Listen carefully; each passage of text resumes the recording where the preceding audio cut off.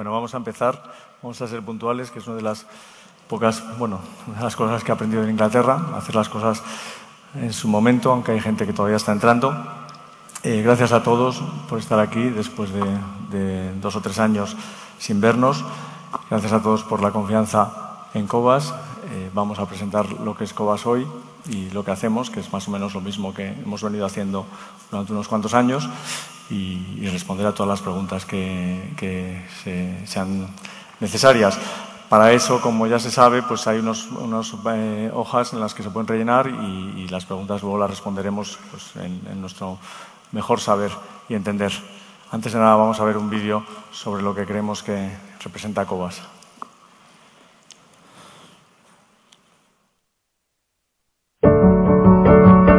Paso a paso, con los pies en la tierra continuamos el camino que empezamos hace mucho tiempo. Libres e independientes para ser leales a nuestros principios, depurados por el trabajo, la experiencia y el conocimiento. Afrontamos retos con optimismo y convicción, sabiendo que en los pequeños detalles se encuentran las oportunidades. Esta es nuestra manera de crecer y de aportar lo que queremos transmitir. Equilibrio, paciencia, tranquilidad. La tranquilidad de aquellas personas que nos confían sus ahorros siempre ha sido nuestra prioridad. Tenemos paciencia. Sabemos que invirtiendo a largo plazo en buenos negocios a precios razonables, el tiempo trabaja siempre a nuestro favor. En Cobas Asset Management, además de coinvertir con nuestros partícipes y ofrecerles una gestión responsable de sus ahorros, queremos que nuestra forma de hacer las cosas trascienda y contribuya al crecimiento y desarrollo de la sociedad. Trabajamos para ella con rigor y transparencia. Buscamos difundir nuestra filosofía de ahorro e inversión, ser un punto de encuentro para el diálogo y el intercambio de conocimiento. En constante evolución, empezamos de nuevo para seguir siendo los mismos. Bienvenidos a Cobas Asset Management, gestión independiente con más de 25 años de experiencia.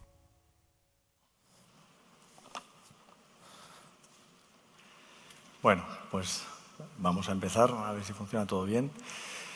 Eh, bueno, Cobas es un proyecto que surge eh, desde la independencia, como hemos venido contando, y, la realidad es que está formado por un equipo de profesionales bueno, yo diría que, estupendos.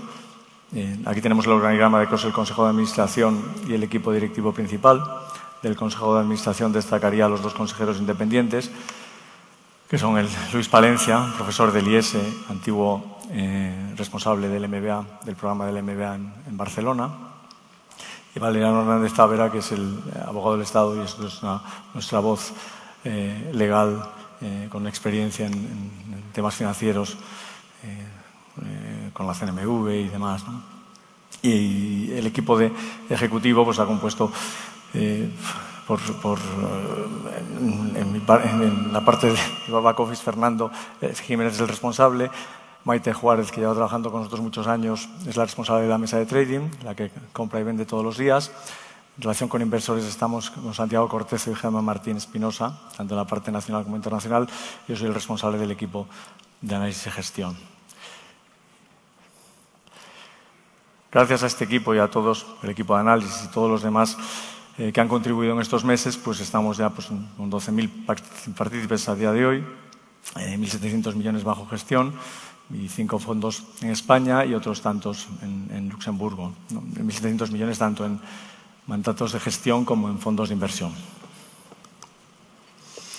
Si entramos directamente al grano, que son los fondos y lo que más nos, nos gusta, eh, Empezando por la cartera internacional, vemos que, sorprendentemente, claro, después de estar dos años un poco alejado del mercado, eh, en cierta medida, pues no sabes lo que te vas a encontrar y lo que nos hemos encontrado son pues, eh, bueno, pues, eh, valores muy interesantes, como luego veremos, y, con un precio objetivo que, es relativamente alto.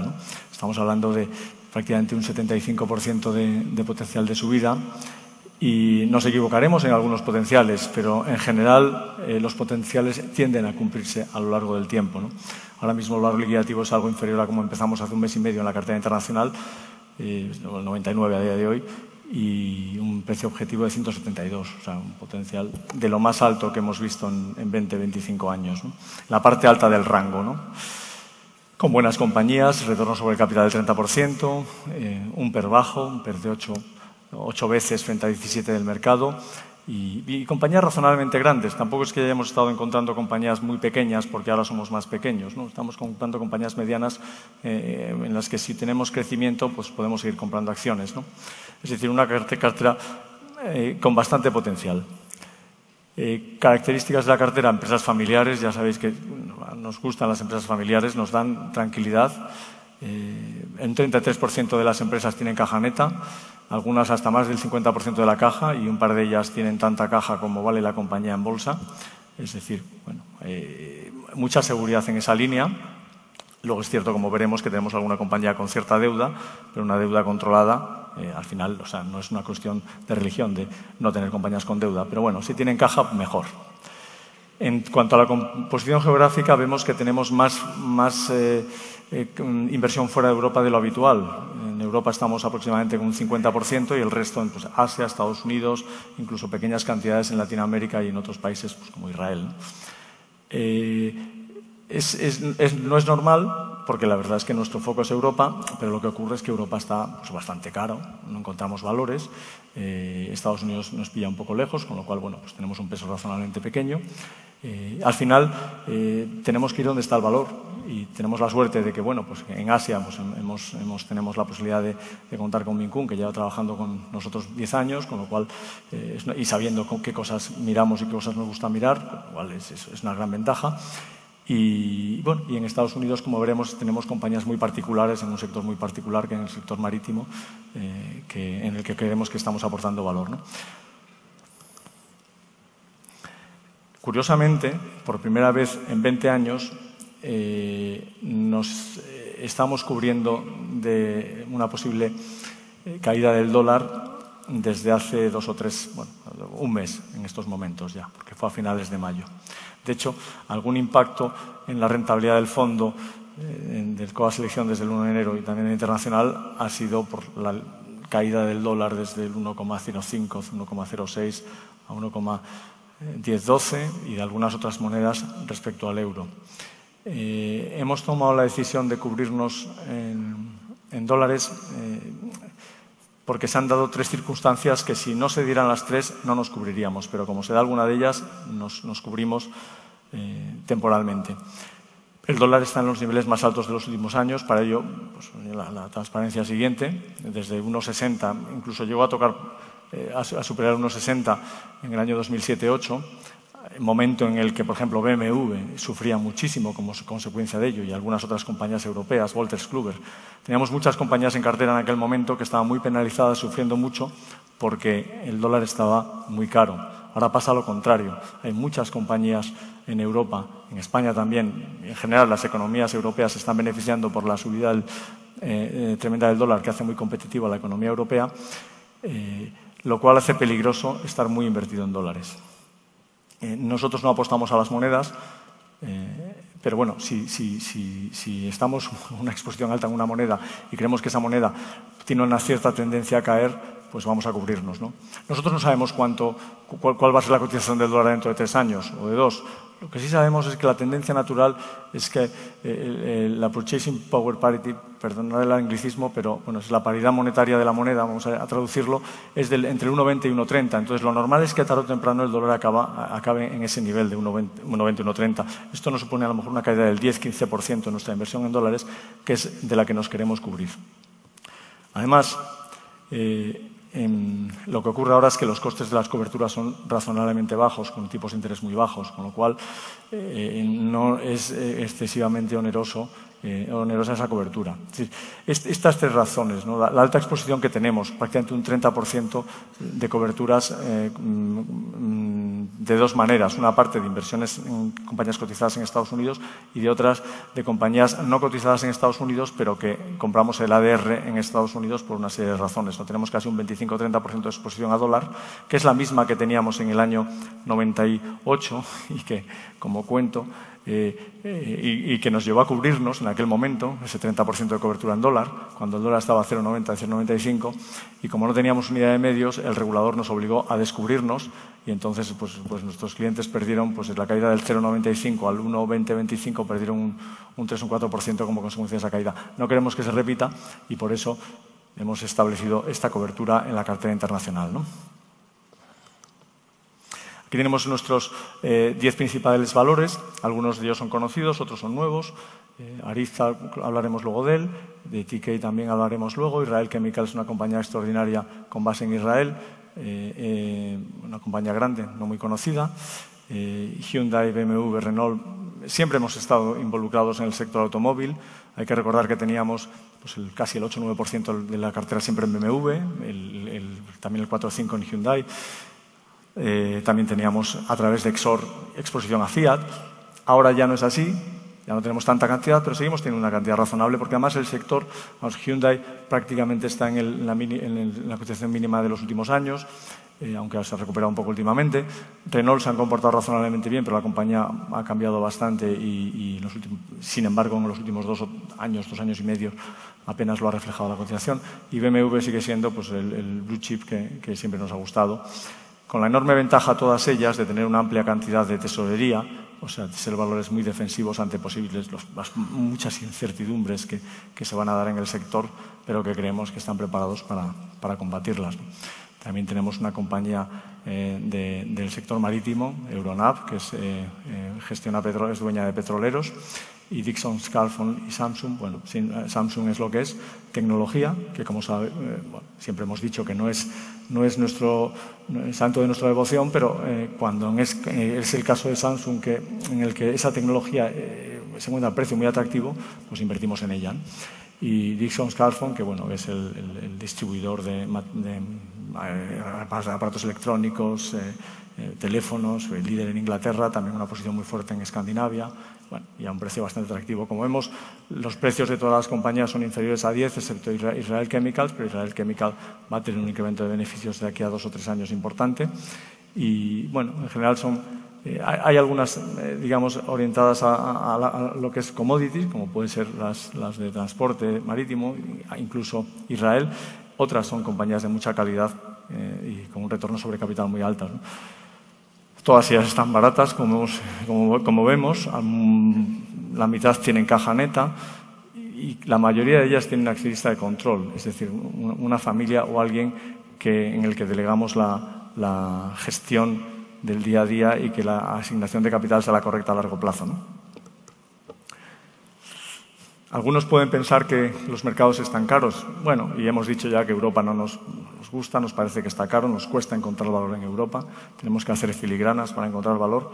Y, Estados Unidos, pues más de lo mismo. O sea, es un mercado que está en 17-18. O sea, no quiere decir que, que, se avecine un crash, ni mucho menos, pero no es fácil encontrar valor. Eh, vemos que, el índice europeo en los últimos tres años y medio ha subido un 30%, bueno, eh, se ha comportado razonablemente bien, pues un 10-12% anual.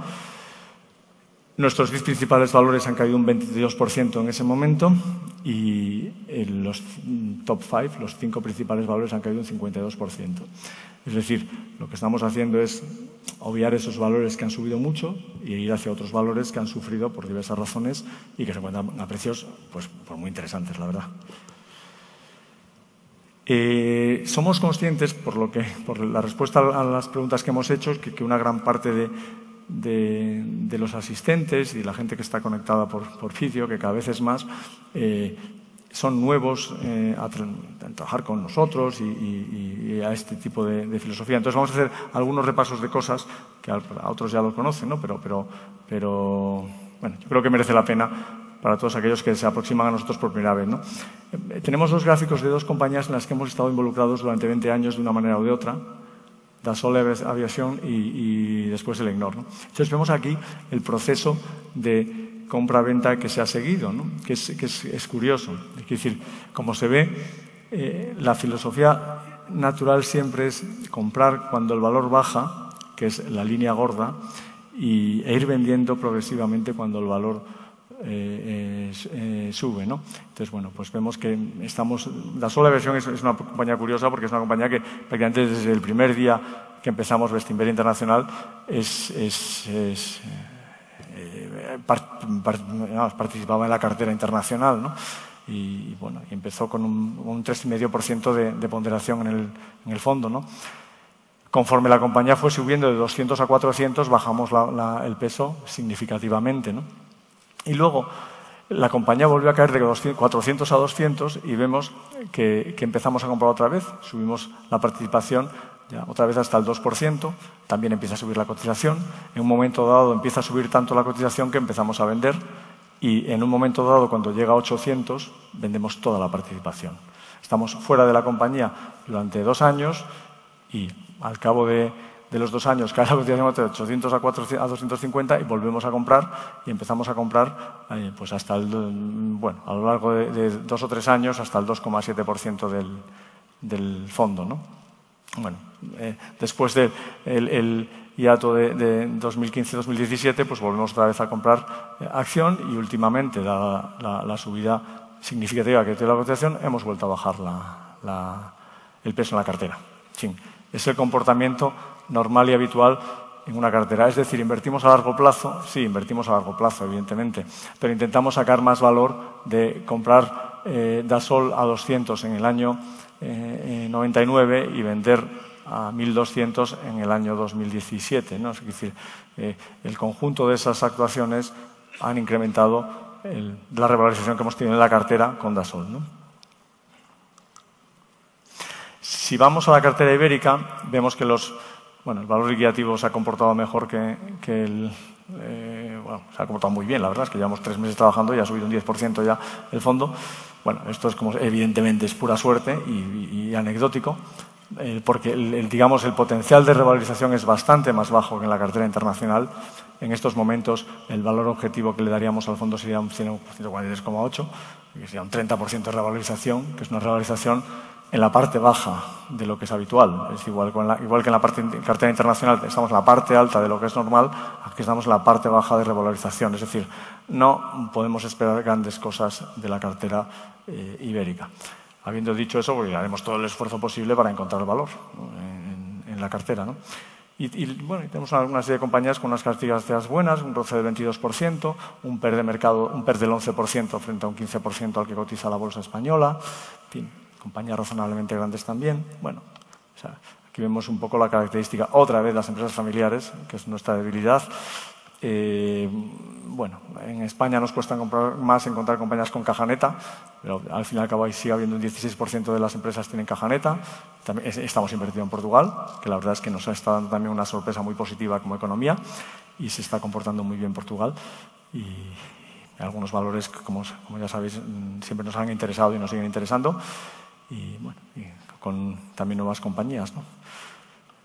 Hemos indicado que nuestra recomendación es 90-10, es decir, con este potencial relativamente bajo, con pocas compañías cotizando en España y Portugal, ya no tiene sentido eh, tener el, 40-50% de nuestra cartera en España y Portugal. Por eso estamos recomendando 90% en, en, la cartera global y 10% en España y Portugal. De hecho, eh, Cova Selección eh, que es el fondo, digamos, eh, que recoge esa recomendación, pues recoge 90-10 aproximadamente. Y de hecho, estamos algo menos del 10 en España en, en, Cova Selección. Aquí tenemos la cartera ibérica, y en la que, bueno, pues eh, bastantes compañías conocidas y alguna novedosa. en general, todas las compañías son algo más caras, cotizando algo más de, de, de APER 10, y, bueno, pero, pero, pero bueno, con, ratios todavía razonablemente atractivos. ¿no? Compañías con, roce alto, compañías con, control familiar que nos dan tranquilidad, en fin. Es una cartera en la que no hay grandes novedades, eh, pero bueno, nos sigue todavía eh, dando juego y creemos que puede dar bueno, una cierta rentabilidad en el futuro. Aquí repetimos el mismo ejercicio para el EGNOR, ya que ahora es el mayor peso que tenemos en cartera. Y, la verdad es que hemos tenido una relación eh, histórica estrecha con la compañía.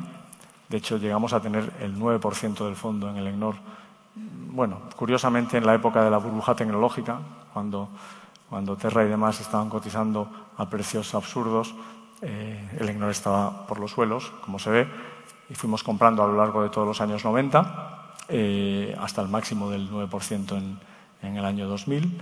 Eh, bueno, conforme el mercado fue recogiendo el valor y el buen trabajo que iba haciendo la compañía, pues íbamos vendiendo nuestra participación desde el 2000 hasta 2005, en el que se produjo esa eh, digamos, subida fortísima y en el que vendimos toda nuestra participación. ¿no? Al final, bueno, hay que invertir a largo plazo con paciencia, pero cuando las cosas llegan a su precio, pues las vendemos. Tampoco es cuestión de, enamorarse de las compañías. ¿no?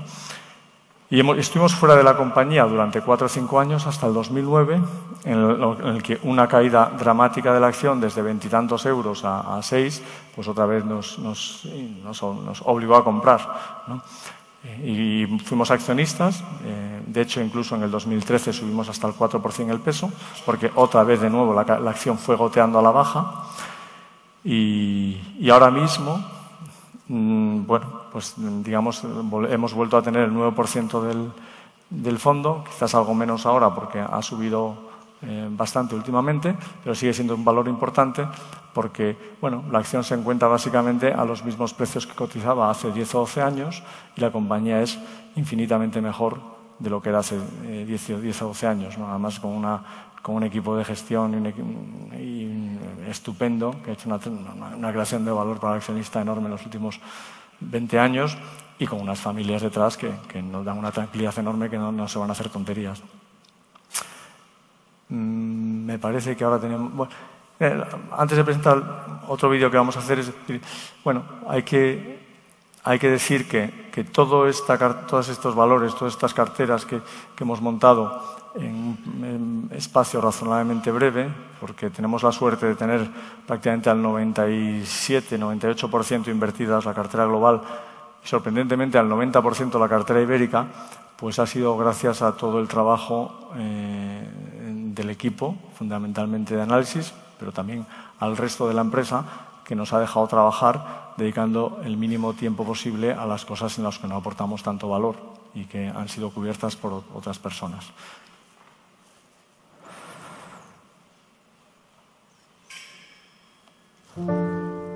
Cobas Asset Management nace como continuación de un proyecto iniciado hace más de 25 años, que pretende aplicar los principios de una inversión sensata, la inversión en valor, que está abierto a todos los inversores que deseen participar en el mismo.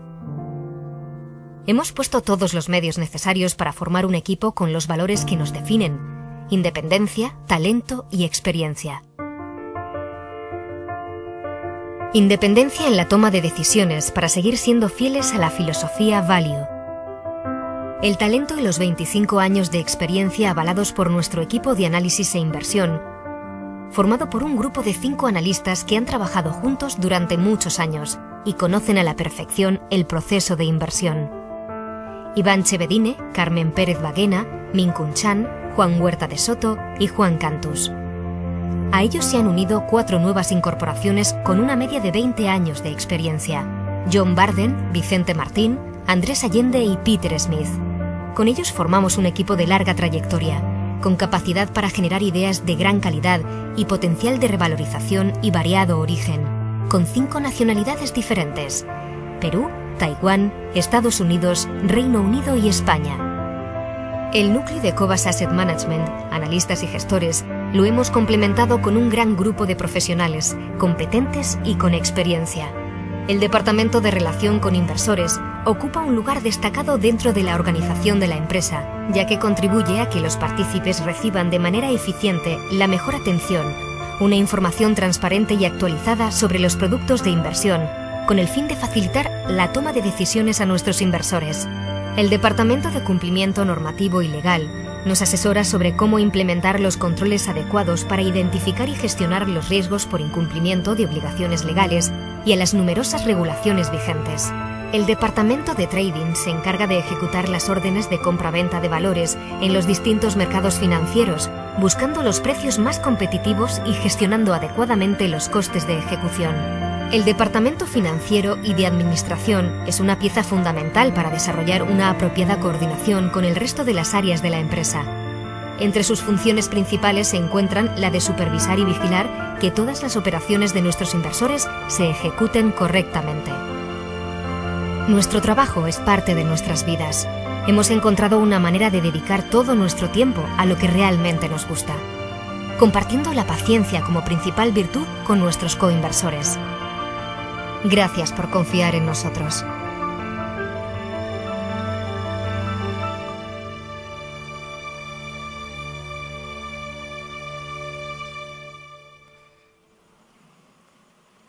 Muy bien, pues gracias a todos ellos estamos hoy aquí. Las estrategias que hemos, que hemos hablado, eh, nacional e internacional, se reflejan en los fondos. bueno, Cobas Internacional obviamente refleja la internacional, Iberia la ibérica y selección 90-10. Entonces es una combinación de las dos carteras de las que hemos hablado. el fondo de grandes compañías, que es un fondo para futuro, tiene la misma filosofía, pero con compañías, eh, digamos que, como eh, mínimo tienen que tener 4.000 millones de capitalización. Es un fondo que estará eh, eh, disponible y seguirá disponible probablemente eh, durante muchos años si en algún momento decidimos que los fondos, digamos, básicos, que son Selección Internacional Iberia, tienen demasiada capacidad, demasiado dinero y ya no, aceptamos más, más entradas de dinero. como hemos dicho, si llegamos a ciertas cantidades, eso va a ocurrir. Eh, tenemos tres transparencias de filosofía, eh, tampoco me voy a extender tanto en ellas, porque es más repetir un poco lo que hemos venido insistiendo permanentemente. Eh, únicamente explicar a, todos aquellos que están aquí por primera vez y los que nos están viendo por primera vez que nosotros no, no somos inversores en bolsa, nosotros somos inversores en empresas que accidentalmente cotizan en bolsa. Eh, somos inversores, en negocios que nos proponen otros señores a través de unas pantallas y unos medios, que es, que es lo que se llama bolsa, pero que la bolsa es, no, es más que un instrumento para intentar eh, eh, comprar esas acciones o vender esas acciones en esos proyectos de inversión de los que estamos hablando. Esos proyectos de inversión, en general, tienen poca relación eh, eh, con la actividad eh, económica general. O sea, tiene poca relación, me refiero.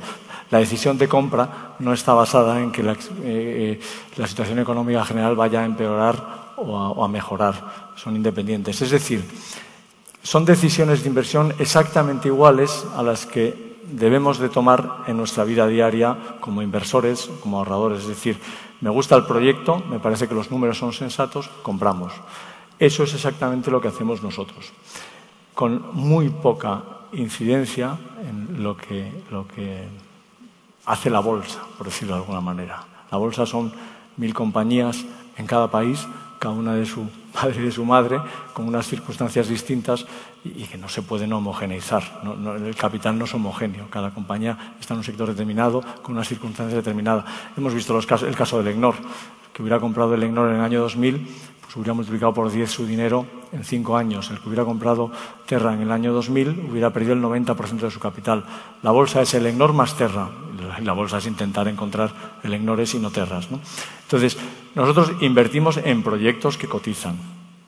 Y eh, la, la clave de la elección es encontrar un buen negocio que esté cotizando a un precio razonable. Y a partir de ahí, tener la paciencia para que el proyecto vaya madurando. Eso es lo mismo que hace cualquier empresario sensato y, eh, a lo largo del tiempo. Curiosamente, algunos empresarios muy sensatos no aplican esos criterios cuando invierten en, el mercado bursátil. Es sorprendente, ¿no? Pero es la realidad. Se ponen muy nerviosos Telefónica ha caído un 2%. Oiga, usted, mi, planta de fabricación de cemento ha caído un 2%. No, nadie se plantea eso en su sano juicio, ¿no? La, planta generará unos, unos dinero, un free cash flow a lo largo de los años o no lo generará, pero no, no cae el valor de la planta un 2% cada día o sube un 3% cada día. ¿no? pues eso es lo que intentamos hacer nosotros, aplicar eh, eh, al mercado bursátil eh, la filosofía de proyectos de inversión, con muy poca incidencia a intentar predecir lo que va a hacer la economía. Porque la experiencia te dice que únicamente en momentos muy particulares en los que por casualidad accidentalmente, pues lo que está ocurriendo te permite adivinar por dónde van a ir los tiros a nivel económico y puedes tomar una decisión basada en eso. Pero muy pocas veces ocurre eso. En la mayoría de los casos, como es el caso actual, pues las cosas van razonablemente bien en las economías globales. La apuesta que vamos a hacer, pues que continuarán razonablemente bien en las economías globales, dando oportunidades para todo aquel que quiere invertir su capital bien invertido. Podemos decir más de eso salvo momentos excepcionales. Pues, recordemos la burbuja inmobiliaria en España y, algunas cosas de ese tipo. ¿no? Pero esas cosas se producen cada 15 años en los mercados y el resto del tiempo poco más podemos decir sobre eso. aquí en estas tres transparencias que hemos repartido, pues hablamos un poco de todo eso, cómo analizamos las compañías, cómo, cómo, estudiamos las barreras de entrada, o sea, que no sea fácil replicar lo que tienen, que sus activos valgan más de la cotización que me están ofreciendo en los mercados.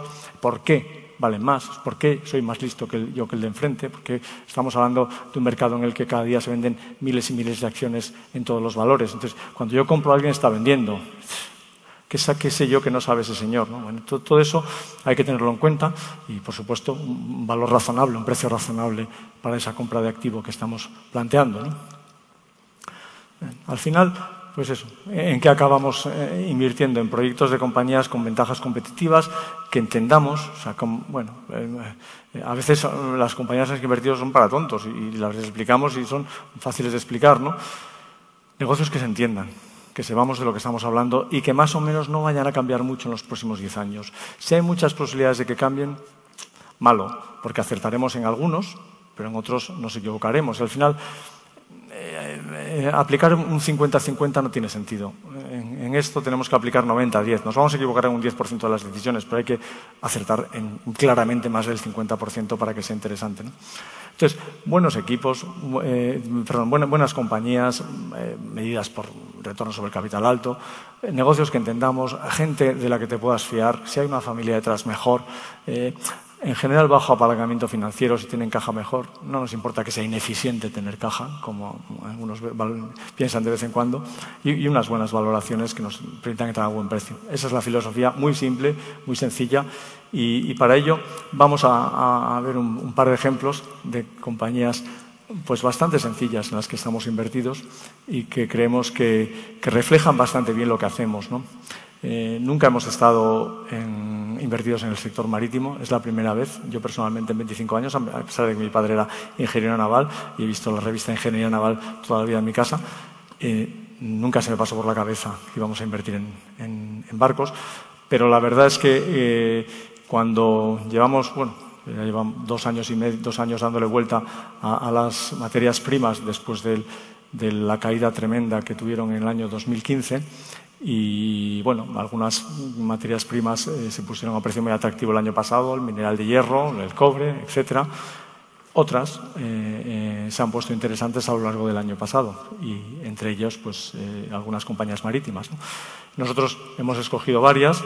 En, una parte de la cartera que le hemos llamado de materias primas, que es interesante porque a pesar de que es verdad que no sabemos hacia dónde va a ir eh, la economía global, sí que es cierto que los bancos centrales han estado haciendo experimentos monetarios que pueden traernos eh, problemas. Y, en general, cuando se devalúa la moneda, todo lo que es materia prima eh, se adapta muy bien a ese entorno. Por ejemplo, el último caso de devaluación importante de las monedas fue en los años 70 y fue el mejor año para todo el sector de materias, el mejor año, la mejor década para todo el sector de materias primas y de energía en general. O sea, que decir que, que enseguida la materia prima se adapta a la depreciación monetaria. Una inflación del 15%, el cobre vale un 15% más, este barco vale un 15% más. Eh, eh, es, eh, digamos, una ventaja adicional a precios muy atractivos en este sector. Es una especie de ancla por si las cosas se tornan malas a nivel monetario. Entonces, hemos escogido TK LNG y su matriz, que se llama TK Corporation. Y bueno, es una compañía bastante interesante, con un gráfico de los que nos gustan a nosotros. Una compañía que valía 3.000 millones de dólares hace eh, tres años, dos años y medio, eh, cotizando 45 dólares por acción. Ah, después de una caída del 70%, está cotizando a 15, euros por, a 15 dólares por acción. Eh, es uno de los mayores propietarios independientes cargueros de GNL en el mundo. curiosamente con origen español.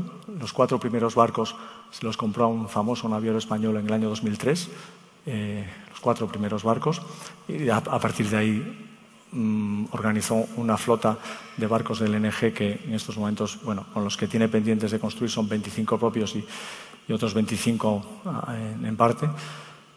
Los barcos del LNG son los barcos más caros del mundo de, de transporte de carga eh, cuestan 200 millones de dólares cada uno. Eh, para haceros una idea, un petrolero de los grandes, de los que, 300.000 toneladas, cuesta 80 millones de dólares.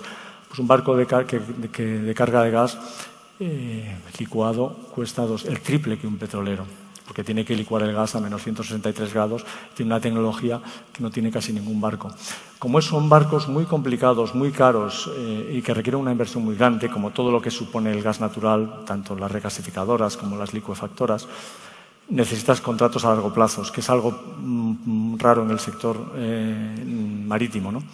Y por tanto, el contrato medio que tiene TK en estos momentos en la actividad del LNG es de 13 años. Además, no son contratos con el pipero de la esquina, son contratos con Shell, con Total, con Repsol, con Gas Natural, el Qatar, el gobierno de Qatar, no sé si es bueno o malo ahora, pero vamos, el gobierno de Qatar, eh, compañías chinas, en fin, con, contrapartidas que son contrapartidas eh, de las mejores del mundo. ¿no? Y con un activo que dura 35 años, porque son barcos tan complicados, tan buenos, mientras que un petrolero dura 20 años, porque pues, al fondo es una plancha de, acero y ya está, eh, para cargar petróleo, eh, estos barcos tienen mucha tecnología y hasta las planchas de acero eh, son planchas especiales que duran 35 en vez de 20 años con acero especial. Entonces, esta compañía, ¿por qué está atractiva en estos momentos? Pues porque recorta el dividendo en el 2016 como consecuencia de la caída, bueno, final de 2015 como la caída del precio del petróleo. Entonces ellos tienen un plan de inversión muy importante y entonces pues en vez de repartir capital y luego eh, eh, pedir otra vez capital accionista, lo que hacen es cortar el dividendo durante un tiempo, que todavía están en ello, eh, hasta que los proyectos maduren y cuando los proyectos maduren pues volverán a, dar dividendo. ¿no? Entonces, es una compañía que el día que anunció que recortó el dividendo, eh, pues cayó desde 25 dólares a 10. Hoy está a 14, 15. ¿no? Eh, ¿Qué ocurre? Bueno, pues es una compañía que, eh, a pesar de haber recortado el dividendo, a pesar de haber sufrido un colapso de la acción, de la acción del 70%, tiene exactamente el mismo beneficio esperado que tenía hace tres años. Los tenemos ahí abajo, los FCF es el beneficio esperado. 45 millones de dólares este año, 165, 207 y 216. O sea, cuando todos los proyectos que tienen bajo los contratos con las compañías que de las que estamos hablando vayan madurando, va a empezar a realmente el, free cash flow es más alto. Realmente estamos hablando de casi 400, 450 millones de dólares, pero bueno, tiene, una deuda razonablemente alta, porque en el, sector marítimo siempre se trabaja con deuda, casi siempre. Eh, y entonces, después del repago de deuda, estamos hablando que al accionista lo normal es que le acaben tocando 200 y pico millones de dólares. Es una compañía que vale en bolsa 1,2 billones de dólares. Es decir, en estos momentos estamos hablando de siete veces free flow del año que viene y cinco veces, eh, cinco o seis veces free flow del año 2019 o 20, años en los que empezará a repartir dividendo, incluso puede ser algo ya en el 2018. Dividendo en exceso de lo que está repartiendo, porque todavía, a pesar de haber recortado el dividendo un 80%, tiene una rentabilidad por dividendo del 4%. O sea que, que no está mal. Es decir, en el fondo, si hacemos un descuento de flujos, que no normalmente no lo hacemos, como siempre he comentado, salvo en situaciones muy estables, en los que tienes un contrato que te lo ampara, pues en las autopistas, en compañías de ese tipo, muy estables, en ferrovial lo hicimos, lo hicimos en su día, eh, una tasa de retorno del 15%, con contrapartidas como Repsol y demás que se están financiando al 3%. Es decir, estamos comprando un bono de Repsol con un 15% de, tasa interna de retorno, en vez de un 3% de lo que... Eh, eh, supone comprar un bono estricto de Repsol en estos momentos.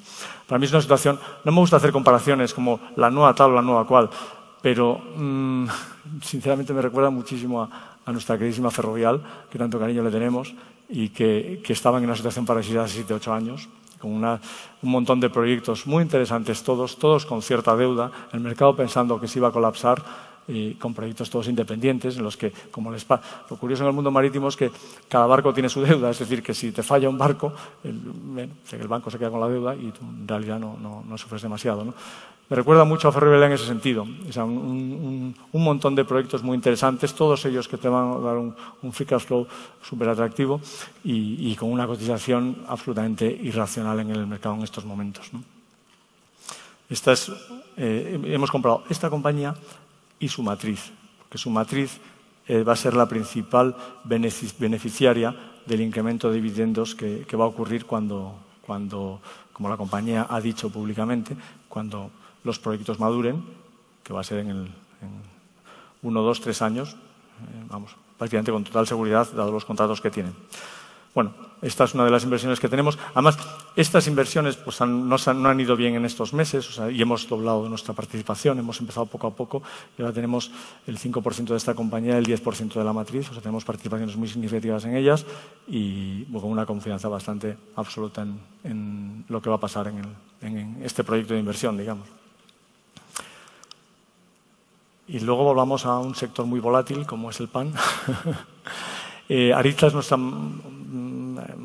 mayor inversión también junto con ETK y son productos de panadería precongelada. La panadería precongelada, para aquel que no lo sepa, está ganando cuota de mercado bueno, sistemáticamente en las panaderías porque, claro, es, mucho más fácil para el panadero eh, pues tener el pan precongelado, calentarlo allí que nos creamos todos de que está recién hecho, eh, que nos lo creemos, no, sabemos que está precongelado, eh, es mucho más cómodo y, fácil que levantarte a las 3 de la mañana, hacer, hacer todo el pan, la masa y hacerlo. ¿no? Entonces, este es el líder mundial, y un negocio estable, un negocio con barreras de entrada, es un negocio que, no es fácil de entrar, es un negocio de alimentación, pues porque tienes que tener una redistribución, tienes que tener fábricas, es, es un negocio más complicado de lo que parece, tienes que innovar.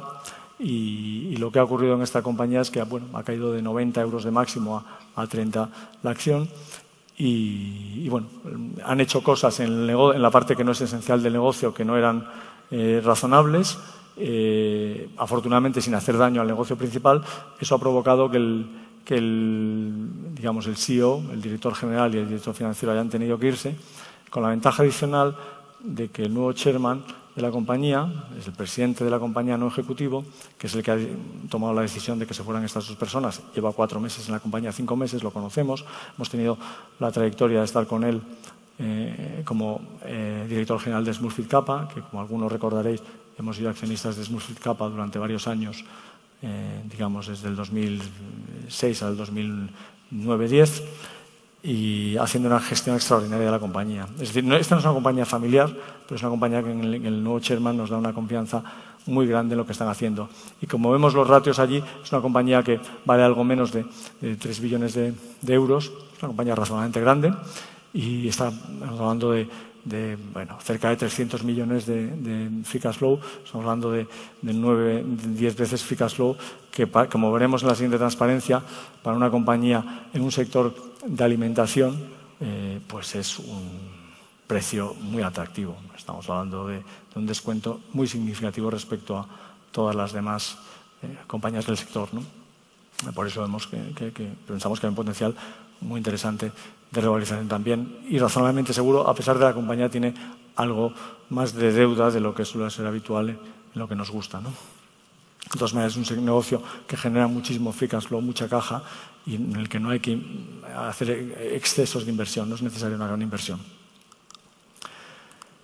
Bueno, hemos puesto dos ejemplos eh, eh, que son importantes y significativos en lo que estamos haciendo. No son compañías en las que tenemos el 1%, sino compañías en las que hemos apostado fuertemente por ellas, por eso las explicamos. Eh, próximos pasos para Cobas. Pues los planes de pensiones los vamos a tener listos en, semanas, me parece que el 9 de julio, me han dicho. Los fondos de Luxemburgo los vamos a registrar en España también en julio. constituiremos un hedge fund que en el fondo será un fondo concentrado, en un fondo en el que en vez de tener, pues como tendremos en Coba Selección, pues 60 valores, tendremos 20, fondo concentrado. Eh, constituiremos una SICAF para bueno, algunos inversores que prefieren invertir en una SICAF en un fondo, con las ventajas e inconvenientes que eso tiene.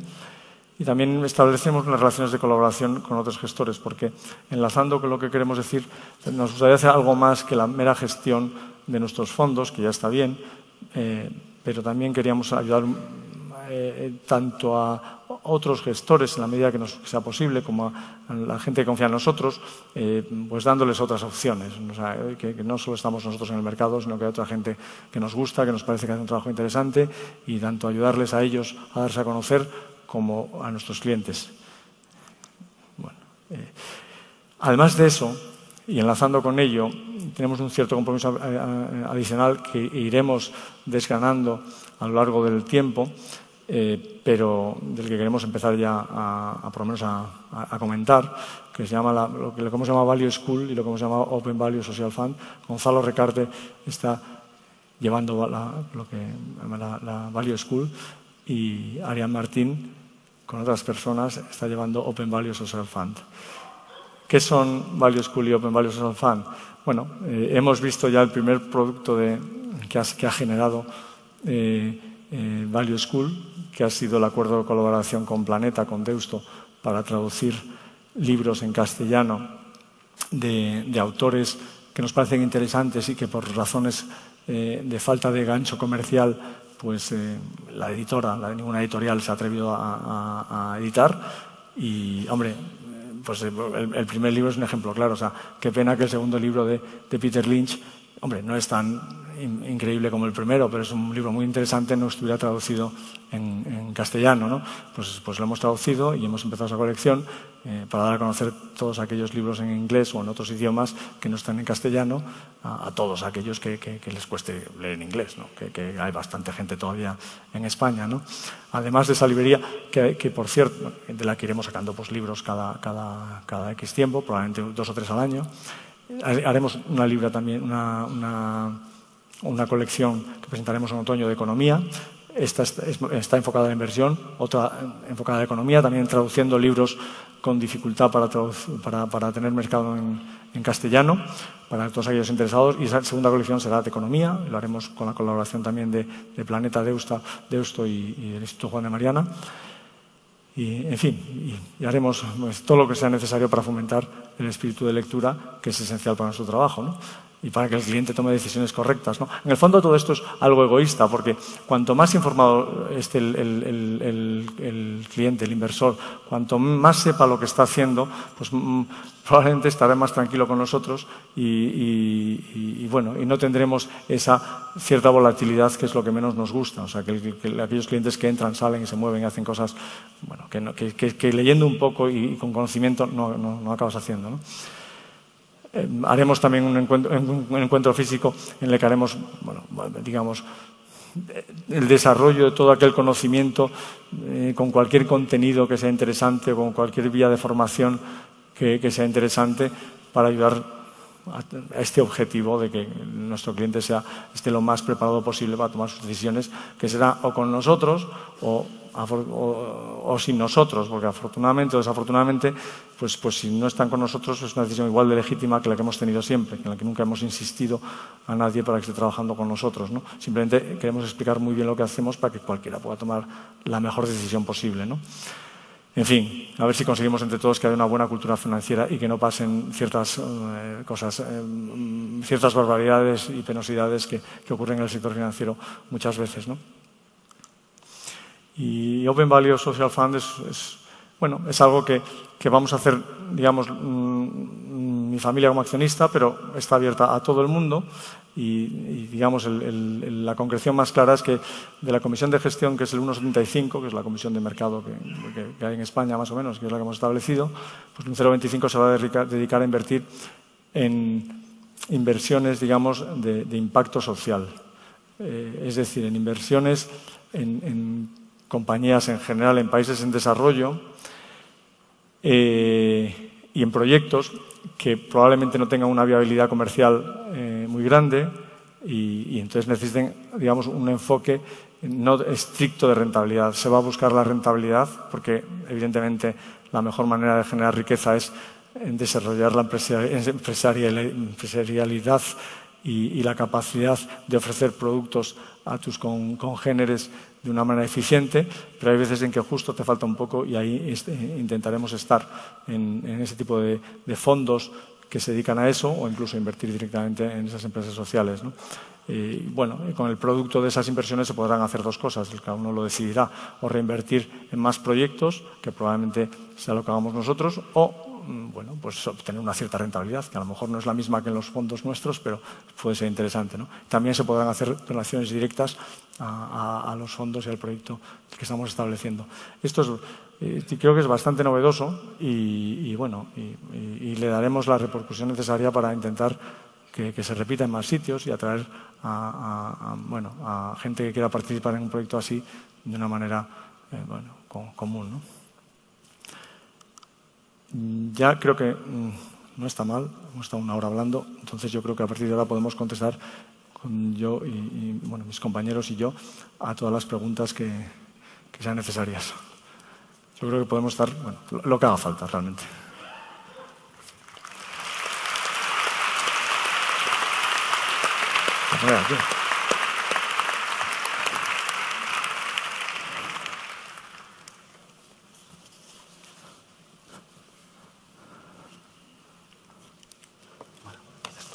Buenas tardes. Vamos a empezar con las preguntas que hemos ido recogiendo a lo largo de esta hora de intervención. Las hemos clasificado más o menos por bloques, pero bueno, si hay algo de desorden de entrada, tanto Santiago como yo nos, disculpamos. Y, la primera es una pregunta eh, sobre compañías y preguntan qué opinamos sobre Tesla y si puede o no suponer una amenaza para BMW. Bueno, ¿quieres contestar antes tú sobre Tesla? sobre Tesla, si puede suponer una amenaza. ¿Qué, opinamos sobre Tesla y si puede o no suponer, a nuestro juicio, una amenaza para BMW? Bueno, antes de nada hay que decir que Andrés es nuestro experto en baterías y el futuro del automóvil. ¿eh? Bueno, ya veremos, si se escucha. Eh, la verdad es que eh, Tesla... No se oye. ¿Se oye? ¿Se oye? Ah, hola. Hola. Hola, ahora se abre. Ahora se oye Tesla eh, ha hecho una labor que probablemente sea muy útil, es abrir... ¿Se oye? Hola, ahora se oye. Eh, empiezo otra vez. creemos que Tesla eh, ha hecho una labor que será probablemente muy útil, que es abrir el mercado de los coches eléctricos, demostrando que la gente puede, puede, le puede gustar el coche, lo puede querer comprar. De hecho, yo probé un coche, un Tesla, eh, hace pues, como un año y salí del coche absolutamente asombrado, ¿no? Más rápido que un Porsche, acelerando. Yo nunca he estado en un Porsche, pero bueno, esto debe ser eh, impresionante también. Y Tesla está haciendo esa función. Otro, otro tema es que Tesla pueda ganar mucho dinero. Eh, al final, Tesla, cuando alcance su objetivo final, va a fabricar 500.000 coches. BMW fabrica 2 millones de coches y tiene objetivo, pues, eh, eh, a lo mejor llegar a 3. Volkswagen fabrica 10 millones de coches. Entonces, al final, es difícil. Eh, yo no apostaría por Tesla como inversor. Es muy difícil que logre sobrevivir. A lo mejor lo logra o a lo mejor no, pero no es una cosa en la que yo apostaría. Sin embargo, los fabricantes de coches tradicionales están viendo cómo Tesla abre el mercado de alguna manera, a lo mejor Tesla les ayuda, es un marketing que está haciendo por los coches eléctricos y se pueden subir a ese carro eh, y, utilizarlo en su, beneficio. Al final, para un fabricante de coche pues, se, tratará de, sustituir un motor de explosión por un motor eléctrico. Eh, en el peor de los casos pueden comprar las, partes, en el mejor de los casos pueden eh, pues, fabricar algunas o, mejorar algunas. ¿no? Entonces, nosotros no pensamos que BMW en particular, por ejemplo, deba, deba tener mucho miedo a Tesla. Eh, ya veremos qué pasa con Tesla. ¿no? Los, eh, fabricantes de coches pues, tienen una historia de, sobrevivir en un negocio muy difícil y se han adaptado y están intentando adaptarse con todas sus fuerzas. Entonces, eh, Tesla no es probablemente el mayor, el mayor, la mayor amenaza. eso es un poco lo que pensamos ahora. ¿no? Este mismo inversor preguntaba si pensáis que Amazon está sobrevalorado.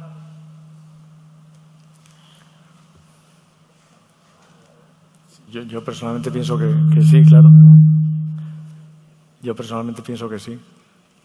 Supongo no sé cómo, qué opináis vosotros, vamos, yo, lo tengo muy claro. Está, es, quiero decir, el negocio fundamental de Amazon ahora mismo es el negocio de la nube, es un negocio que tiene cinco años de vida realmente mm, como negocio sólido y serio, eh, No soy capaz de analizar las ventajas competitivas que tiene Amazon en la nube,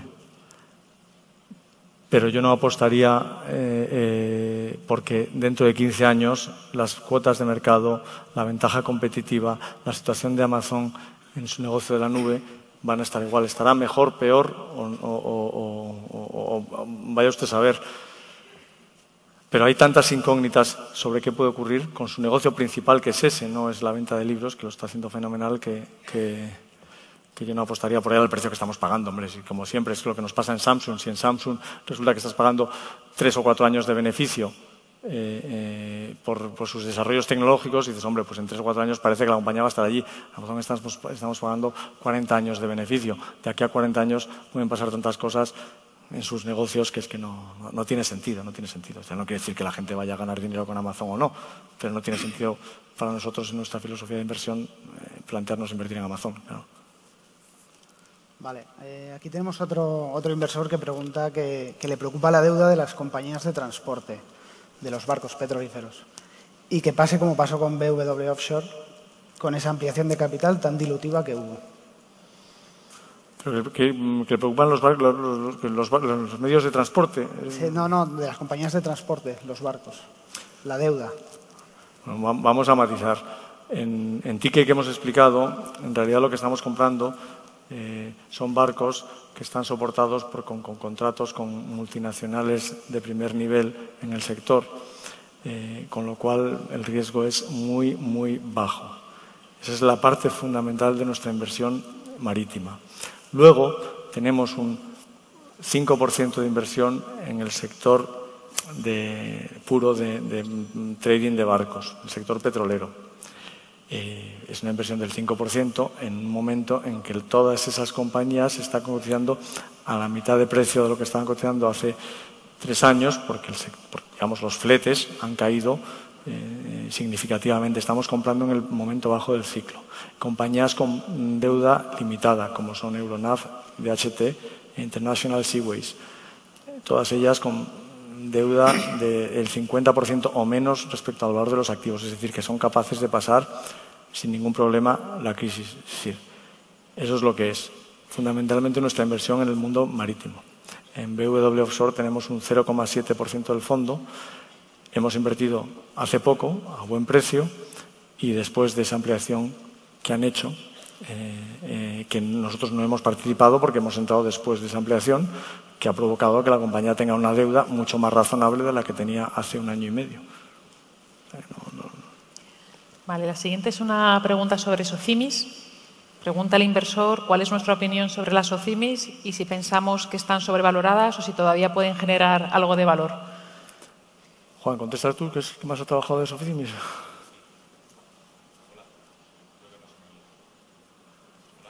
Juan, Juan Huerta. Hola, ahora.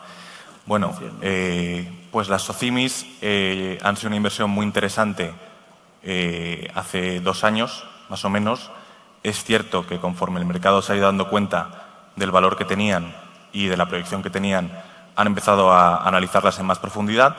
Yo considero que cuando las OCIMIS eh, se crearon como figura y salieron a bolsa prácticamente como caja de, como, una caja negra, porque todavía no habían invertido en activos, eh, la gente desconocía realmente cuál iba a ser el proyecto de inversión, especialmente los inversores extranjeros.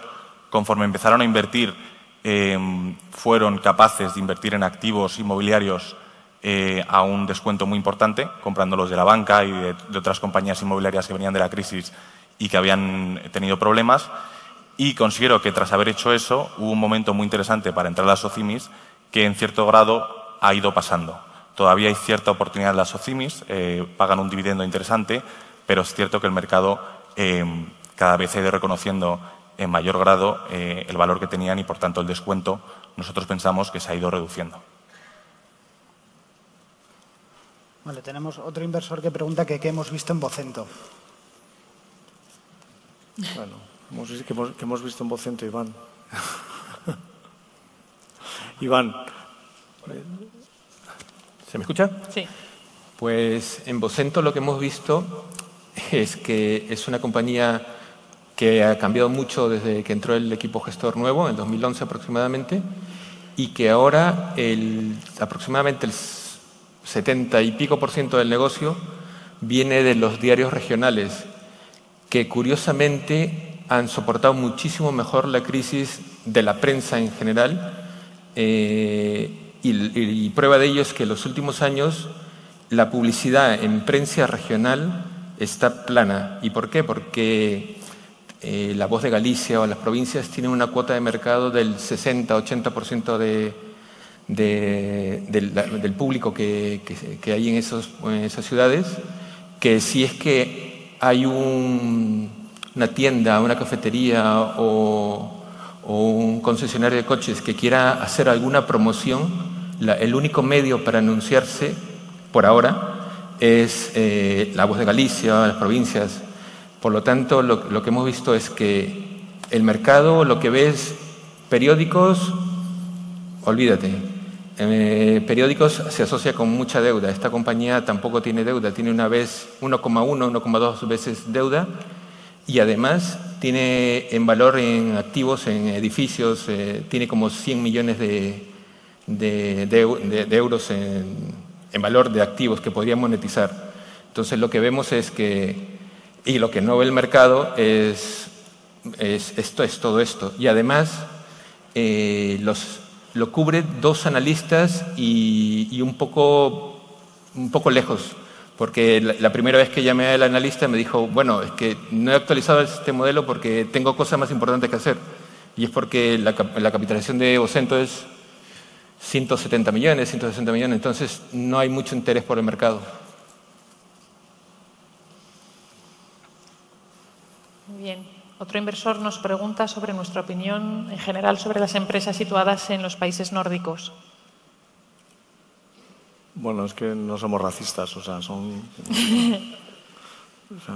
tenemos compañías, de hecho, tenemos más compañías en los países nórdicos que nunca hemos tenido porque resulta que el, núcleo, el núcleo marítimo eh, el núcleo marítimo europeo está, es, bipolar, está en, Noruega y Grecia y no sé por qué, pero hemos preferido Noruega a Grecia. O sea que, o sea que tenemos inversiones en, Grecia, en Noruega en, general relacionadas con el sector marítimo y, con compañías bueno, pues que, que creemos que están infravaloradas claramente. Tenemos tres o cuatro de ellas.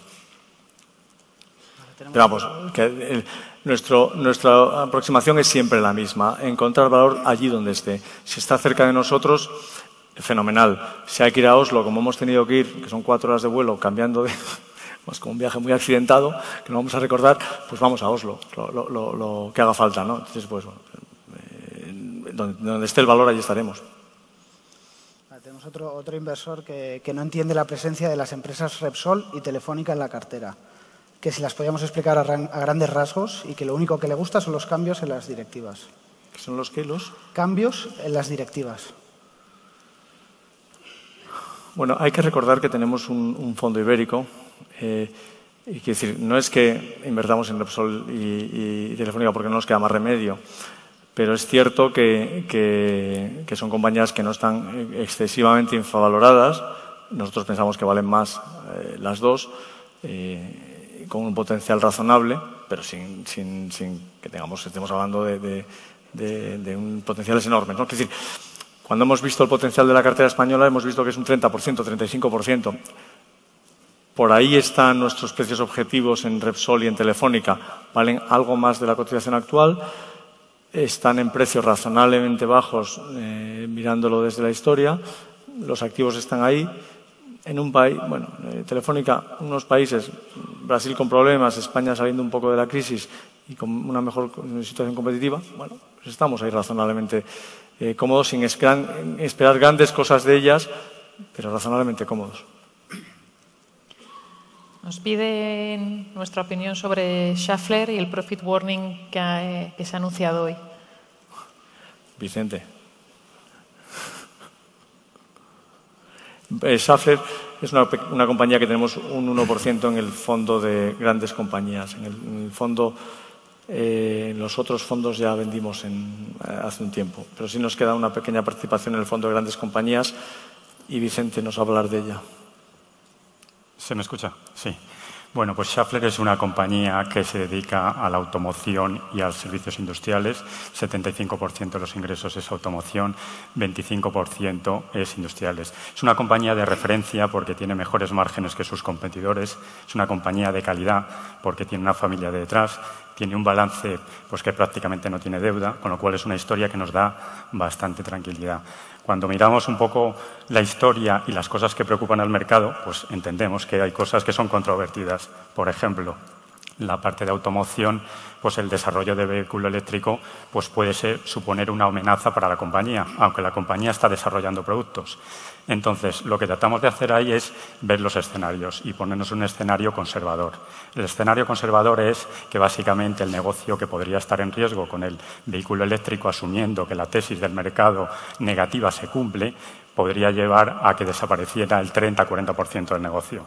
Con una compañía cotizando hoy a siete veces earnings, pues si desaparece el 30-40%, pues pensamos que no tiene margen de caída. Es decir, el escenario negativo lo vemos puesto en precio. ¿Qué puede pasar en el escenario positivo? Pues que la compañía está desarrollando productos. ¿Y desarrolla y tiene ciencia o no? Pues la pregunta la respondemos viendo que es la segunda compañía más innovadora de Alemania. Si miramos un poco los resultados del Instituto de Patentes alemán, pues es la segunda compañía más innovadora. Por tanto, tiene capacidades, tiene una familia detrás, tiene balance. ¿Puede desarrollar esos productos? Sí los puede desarrollar. En el caso de que eso salga, el escenario no sería donde está hoy la, acción, sino sería muy superior. Entonces, poniéndolo todo en la balanza, lo positivo y lo negativo, porque aquí las cosas no son blanco ni negro, sino los tonos grises es donde hay que aplicar un poquito el pincel y tratar de explicar y entender eso, vemos que básicamente el escenario negativo a 12 euros por acción es donde está y es más o menos lo que descuenta el mercado. Si se produce algo de lo positivo, puede valer mucho más. Por tanto, pues estamos cómodos, aún diciendo pues, que es una compañía que tiene una posición pequeña en el fondo, como comentaba Paco, pues en torno al 0,9% en el fondo de grandes compañías. Y hay, varias preguntas con respecto al sector automóvil, ¿no? Que cómo creen que nos puede afectar en el medio plazo, 5 o 10 años, los distintos cambios, tanto coche eléctrico y tal, como el modelo en los jóvenes de propiedad a uso. Bueno, yo supongo que aquí cada uno tenemos su opinión, porque son opiniones de charla de café, es difícil saber lo que va a pasar nuestro argumento eh, es doble cuando en nuestra inversión en el sector automóvil. ¿no? Eh, por un lado, estamos hablando de compañías, todas ellas con amplias posiciones de caja y, una situación muy sólida de balance que les, le van a, les van a permitir a todas ellas afrontar las inversiones posibles de una manera cómoda. Y, por otro lado, todas ellas, y eso lo hemos eh, investigado mucho y lo hemos estado trabajando, están haciendo eh, cosas en, todo, en el coche autónomo, en el, coche eléctrico, evidentemente, en, en, fin, coche compartido. O sea, están experimentando eh, como el que más. ¿no? Eh, algunas de ellas están realmente rompiendo su, modelo de negocio. es decir, no sabemos lo que va a ocurrir, pero sí es cierto que, bueno, en una base de partida, en un sector que siempre, que, llevamos 100 años más o menos con la misma dinámica, bueno, y que lo normal es que tampoco cambie mucho en los próximos años, sean ellos los que se puedan beneficiar fundamentalmente de, los, eh, de las nuevas, eh, eh, digamos, demandas de los clientes, si esas demandas son reales al final, ¿no? que, que eso habrá que verlo. ¿no?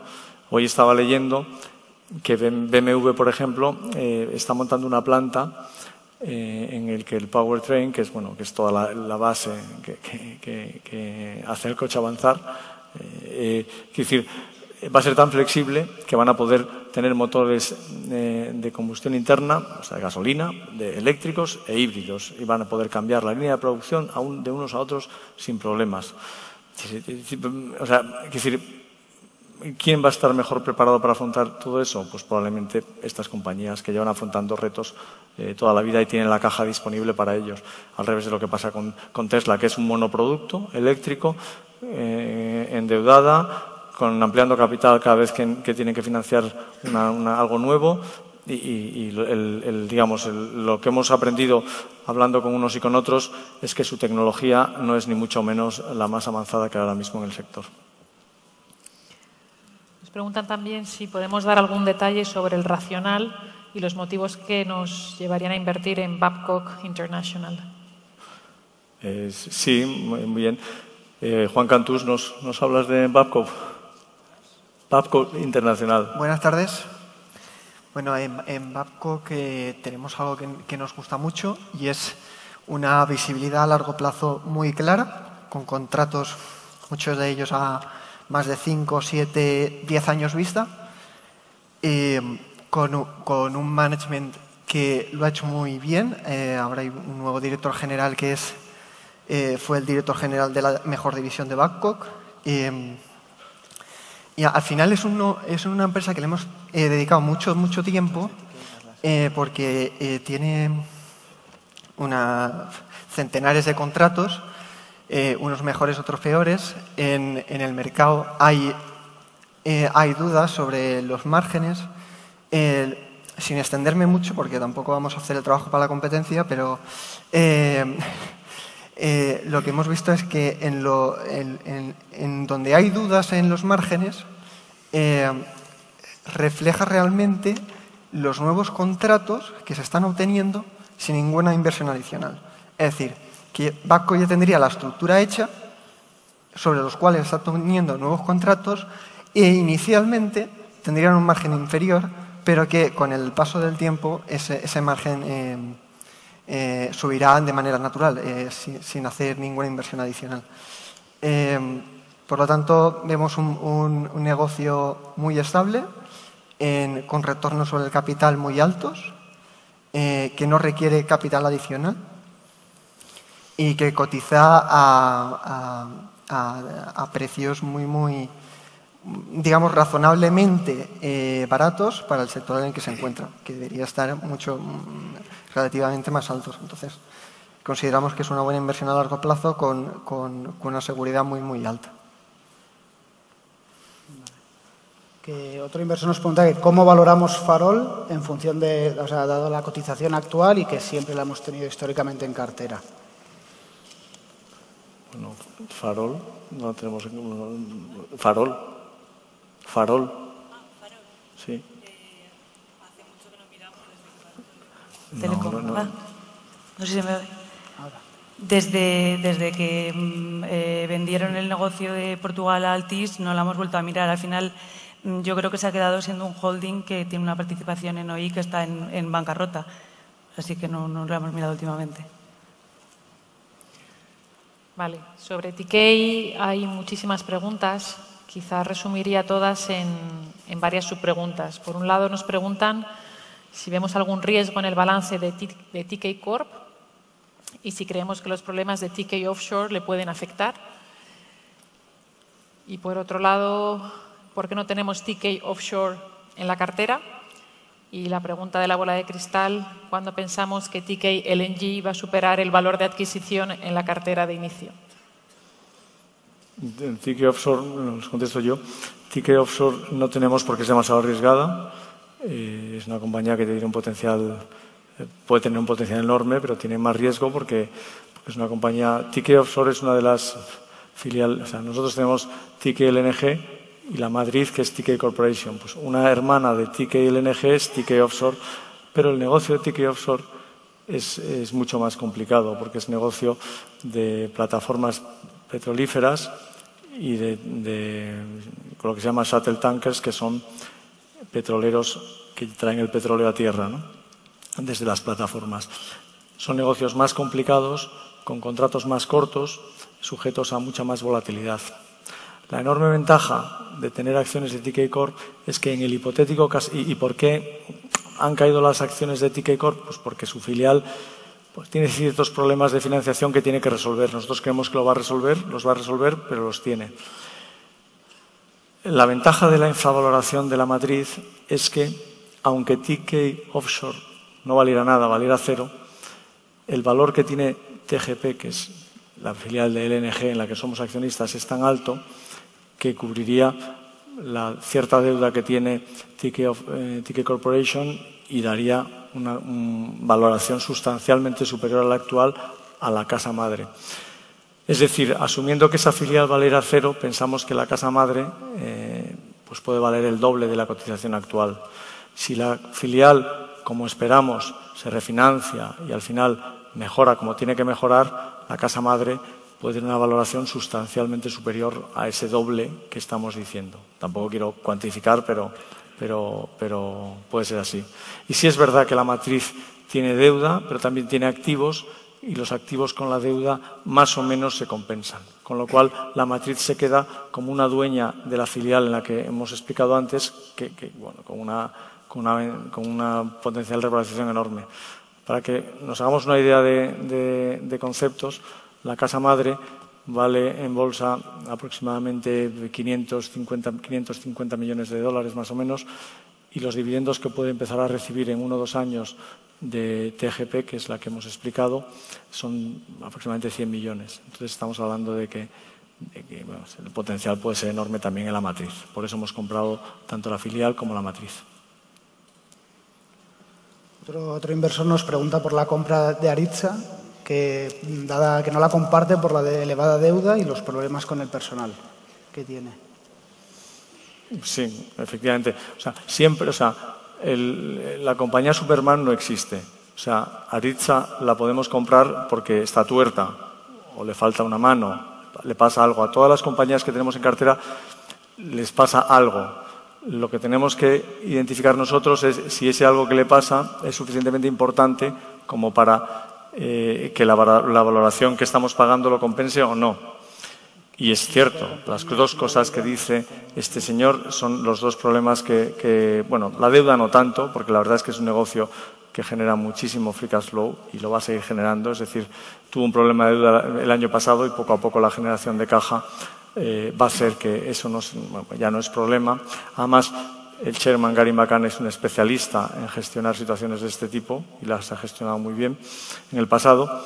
Eh, o sea que es un, no realmente no es tanto problema. El problema de personal sí que es verdad, que es un problema que tenemos que seguir, eh, porque ha habido mucha rotación y, hasta qué punto esa rotación de personal, no tanto a nivel del director general, sino a nivel medio, es importante, pues, pues hay que seguirlo y estaremos pendientes de ello evidentemente sí. Cambiando un poquito de tercio eh, y no centrándonos ya tanto en, compañías, algunas preguntas sobre valoraciones. Eh, este inversor dice que siendo las valoraciones altas, ¿La qué, perdona? siendo las valoraciones altas, ¿no sería más interesante tener más liquidez a la espera de una corrección fuerte o no se espera de ninguna manera que haya una corrección de mercado? Ya, hemos explicado antes, no tenemos ni idea de lo que va a hacer el mercado, nosotros somos inversores, en proyectos de inversión y si tenemos suficientes proyectos para estar invertidos al 100%, estaremos invertidos al 100%. Lo que nos ocurre es que eh, sistemáticamente podemos ir encontrando ideas y lo que haremos serán vender proyectos menos interesantes para comprar proyectos más interesantes. Eh, vender compañías a PER 13 para, mm, a ver, por ejemplo, el caso de Schaeffler. ¿Por qué hemos vendido Schaeffler en el fondo en Cobas Selección y en Cobas Internacional? Porque había eh, compañías más interesantes en, la cartera, entonces nos vimos obligados a vender. O sea, siempre estamos intentando mejorar la cartera. Eh, y lo que no vemos ningún sentido es tener liquidez por si acaso. O sea, si por si acaso, pues ya venderemos algo que pensamos que en vez de valer un, un, 30% lo podemos mejorar comprando algo que vale un 70% más. ¿sabes? Nos parece un coste de oportunidad enorme tener un 10% del fondo en el banco, o el 3, o el 5, o lo que sea, vamos. Y encima cobrando el 1,75. O sea, sería absurdo, ¿no? Que otro, otro inversor nos pregunta que si el no habernos centrado en compañías europeas ha podido destruir valor en estos seis meses? Ya que siempre hablamos del círculo de competencia, de las dos horas de vuelo. No, yo creo que no, porque entre otras cosas, cuando estábamos empezando en enero, estábamos hablando de un potencial del 65-70, ahora estamos en el 75 eh, es decir, poco a poco hemos ido generando valor. Otra cosa es que las cotizaciones, bueno, pues con la selección que lleva desde el 1 de enero, pues a día de hoy me parece que están en el 2,8. Sí, efectivamente, algo inferior a la bolsa. Han influido el problema de la moneda y, evidentemente la situación eh, temporal de TK, pero el valor está ahí. O sea, y, lo que nos, siempre nos ha preocupado a nosotros es el, precio objetivo que calculamos. Y, y lo que nos preocupa es equivocarnos en ese precio objetivo, no en las cotizaciones. Las cotizaciones están ahí y las aprovechamos eh, eh, para actuar en consecuencia. En algunos casos caen las cotizaciones y compramos más y en otros no caen y no compramos o suben y vendemos, que es lo que hemos hecho en algunos valores que ya hemos vendido, a pesar de haberlos comprado en enero, porque han subido un 40% y hemos comprado otros. ¿no? Es decir, mm, yo creo que no hemos distribuido valor. Bueno, creo no, la realidad es que ahora vale más el fondo de lo que valía en enero y esperemos que en diciembre valga más y las cotizaciones tarde o temprano lo acaban recogiendo siempre. O sea, no, no, no, 90% de las, de las inversiones lo acaban recogiendo. El 10% de equivocaciones nos equivocaremos, pero el 90% acertaremos, con lo cual, pues el fondo, si hoy decimos que vale 175, pues valdrá 180 o 165, pero por ahí, por ese rango andará. Y es cierto lo que dice este señor, o sea, es mejor tener compañías europeas, pero yo prefiero tener una compañía como TIC LNG o como el 18% que tenemos en Asia, antes que tener una compañía europea a PER 17 o PER 15.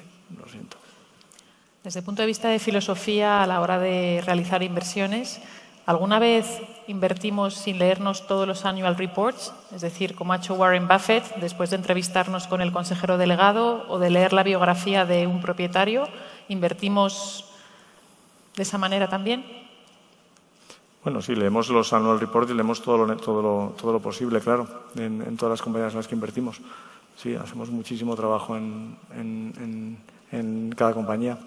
Pero la pregunta es si a veces sin leer los annual reports, ah, después, De, después de una entrevista con el consejero delegado o de leernos la biografía de, de un personaje, es muy raro, es muy raro que sin hacer bastante trabajo antes invirtamos. Es cierto que a veces en alguna situación lo vemos tan claro que lo hacemos, pero no, es, es, muy, muy, muy raro. En la mayoría de los casos es, hay un proceso que es un proceso de lectura, de trabajo en los modelos y, que, es, prácticamente eh, hablar con mucha gente antes de invertir, antes de tomar la decisión.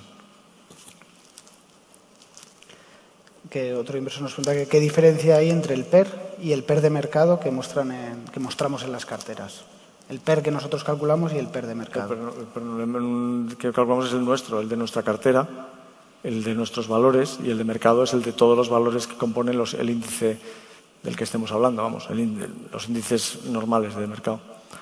Es decir, el precio de cada cosa, el precio de nuestra cartera y el precio del, del mercado. Nuestra cartera en principio está a mitad de precio que el, que el mercado. Para un inversor moderado con una edad de 50 años, ¿cuánto porcentaje debería de invertir en fondos de renta variable? Depende de la necesidad que tenga de ese dinero. Si no tiene mucho, mucha necesidad de ese dinero, hasta digamos los siguientes 20 años, o sea, si es ahorro de verdad no necesario, debería ser un componente razonablemente alto. En cuanto entra la necesidad de dinero, ya hay que bajar el porcentaje de inversión en, renta variable por su volatilidad. Porque si necesitamos el dinero dentro de un año o dos y hay mucha volatilidad en los mercados y la bolsa cae un 25%, pues a lo mejor no se puede cubrir esa necesidad que se tiene. Otro, inversor nos pregunta cuál es la opinión sobre, cuál es nuestra opinión sobre, sobre la inversión a través de ETFs. Y que aunque no sea tu filosofía, si sigues la inversión y los avances en robótica. Sobre TFS yo contesto y la verdad es que desde luego si, alguien no, no conoce o no tiene confianza suficiente en un gestor o en un equipo de gestión, lo mejor sin duda es invertir en un fondo índice o ETF.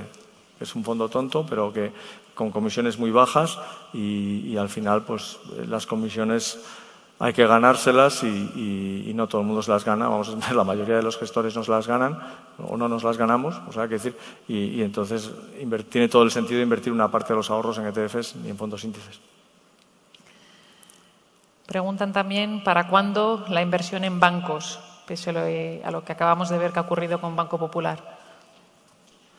Bueno, ¿Para cuándo? Cualquier día de estos. Había que hacerla cualquier día.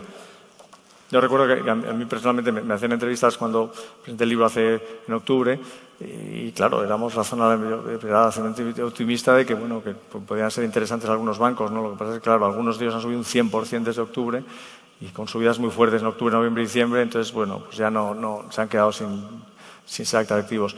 Hablo de los españoles porque de los bancos globales yo creo que nunca vamos a ser accionistas. Dada la dificultad que supone entender un banco y si encima habla otro idioma ya es mucho más difícil de entender. Aquí la pregunta es si, cuál es nuestra estimación, previsión del dólar a corto o medio plazo, uno o tres años. Y en referencia a esto también, que qué opinamos de la paridad euro-dólar. Bueno, o sea, hemos hablado antes de ello. O sea, no es que intentemos hacer una predicción de dónde va a estar el dólar, pero el dólar se ha movido en un rango de 1,60 a 1 prácticamente. Entonces, probablemente el precio correcto esté en el medio de ese rango, que sea 1,20, 1,25, 1,30. Entonces, vamos a asumir que es 1,25 y está 1,12, pues debería caer un 10% respecto a la cotización actual para llegar a su rango. ¿no? ¿Cuándo? no tenemos ni idea. No tenemos ni idea. ¿Qué piensas sobre que ahora el value esté tan de moda y cómo se puede ser contrario en este momento? Comprando ticket realmente, no veo. no, realmente eh, eh, value es comprar activos infravalorados, bueno, y, bueno, las etiquetas son, sirven para lo que sirven, ¿no? O sea, que decir, hay que, hay que comprar activos infravalorados y, tener una rentabilidad a lo largo del tiempo.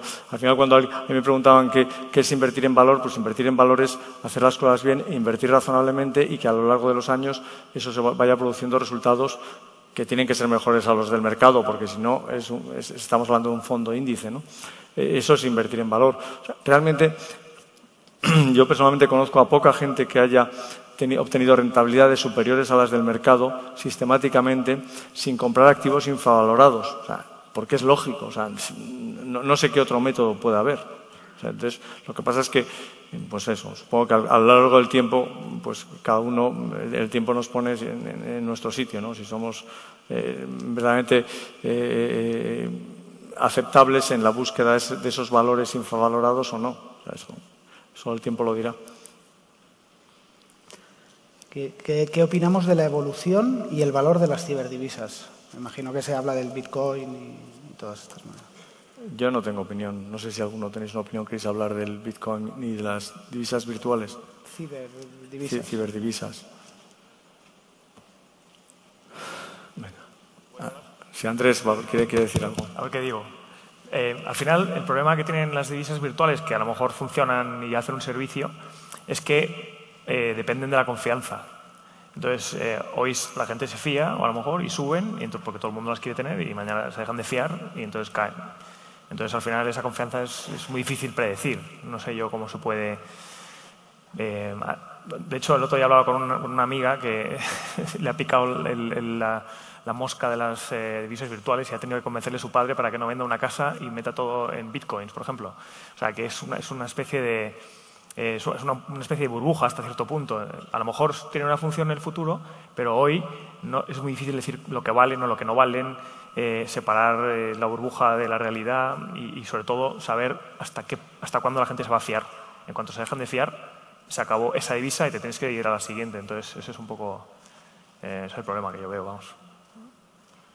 Un inversor internacional que está hoy con nosotros nos pregunta que aunque no hacemos predicciones, a veces hemos dicho que siguiendo las enseñanzas de la escuela austriaca se puede tener una clara visión de lo que está ocurriendo y las consecuencias. Partiendo de esta premisa, ¿estamos preocupados por el intervencionismo de los bancos centrales? Bueno, la, contesto yo. Eh, han intervenido, pero tenemos, creo que tenemos la suerte de que el dinero no ha llegado a la economía real. Y, digo la suerte porque si hubiera llegado a la economía real se hubiera producido una, una, serie de burbujas aquí y allá que difícilmente eh, eh, sostenibles. ¿no? Y mucha de, mucho de ese dinero que ha entrado en la economía se ha quedado en, en, los balances de los bancos. Eh, entonces, probablemente, vamos, tengo, yo tengo la sensación, de hecho, si vemos el índice de, de, crecimiento de crédito en Estados Unidos o en Europa, en Estados Unidos ha crecido muy poco, bueno, algo más de lo normal en el 2015 y 16, pero cantidad de 6-7%, y ahora incluso estaba ya cayendo. Y en Europa y en España, por ejemplo, vamos, el crecimiento ha sido prácticamente cero, está siendo cero. Es decir, no ha habido un incremento del crédito significativo, el precio del petróleo está en mínimos, las materias primas igual, o sea, que decir, no ves que hay una sensación en absoluto de, riesgo monetario importante, ¿no? Eh, estaríamos razonablemente tranquilos. Un poco en relación con, esto que acabas de contestar, nos pregunta el inversor si no creemos que las políticas expansivas han permitido mayores retornos en bolsa de lo que se debería esperar. ¿Mayor retorno? Mayores retornos en bolsa de lo que se debería esperar. Bueno, el mercado está a 17 veces beneficio. Bueno, es la media histórica, un poquito más por encima. No es excesivamente eh, caro. Eh, tampoco eh, barato, está en un precio razonable. No creo que, la, digamos, la evolución monetaria haya influido excesivamente en, las valoraciones de los bancos, de, de, las bolsas tanto aquí como en Estados Unidos, los países más importantes. Y, hay muchos sectores, muchas compañías, como hemos visto, a precios atractivos. Por lo menos nosotros tenemos un conjunto de compañías todas cotizando a PER 7, 8, 9, 10. Es decir, eh, no hay una sensación discriminada como la que yo recuerdo en el año 98. En el año 98 era tremendo, ¿no? O sea, todo el mercado estaba cotizando a PER 25, todo el mercado, o sea, no había excepciones de ningún tipo. Y nosotros recuerdo que, teníamos, bueno, precisamente empezamos en Fondo Internacional en aquel momento y teníamos petróleo y países emergentes y commodities, o sea, pues, justo lo que nos, pasa un poco ahora últimamente, ¿no? O sea, hay que decir, nada que ver con aquella situación que era mucho más complicada. Ahora hay unos precios razonables en general, con compañías con supuestamente crecimiento muy caras, como Amazon y demás, el mercado a perder 17 y otras compañías en las que nosotros vemos oportunidad, pues a perder 10, ¿no? Entonces, es un mercado razonable. ¿Habéis pensado invertir en equipos de fútbol tipo Juventus o Manchester United? Bueno, eh, éramos accionistas de la Juve con, con Exor. Y entonces, bueno, pues. Eh, y de hecho lo seguimos siendo. Tenemos una pequeña participación en, en Exor en estos momentos. Eh, pero directamente no. Al final, yo personalmente pienso que, que las rentas en, en estos equipos las llevan los jugadores y, como en las, en las, empresas en las que el, empleado es, es esencial eh, y entonces como accionista en esas empresas no, no, vamos a decir que no haya casos en los que eh, pueda haber rentabilidad, pero es complicado, ¿no? es complicado. Vale, ¿cómo, ¿cómo vemos el sector de extracción oil en offshore?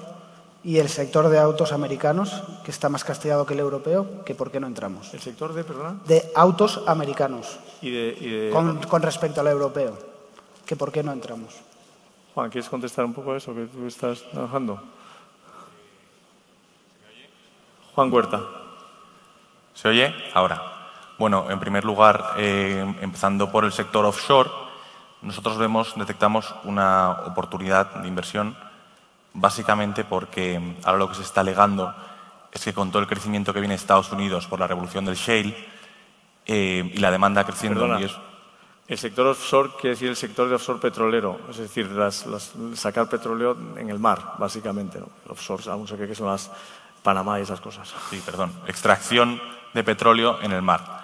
Pues en última instancia lo que se está alegando, tras la crisis que ha ocurrido eh, con el precio del crudo, es que eh, está viniendo mucha oferta y va a seguir viniendo mucha oferta de Estados Unidos y por tanto el precio va a seguir en cierto sentido deprimido en torno a los niveles que estamos ahora, 45-50 dólares, es un poco la opinión del mercado, y por tanto la mayoría de los proyectos de extracción de petróleo en alta mar no son rentables.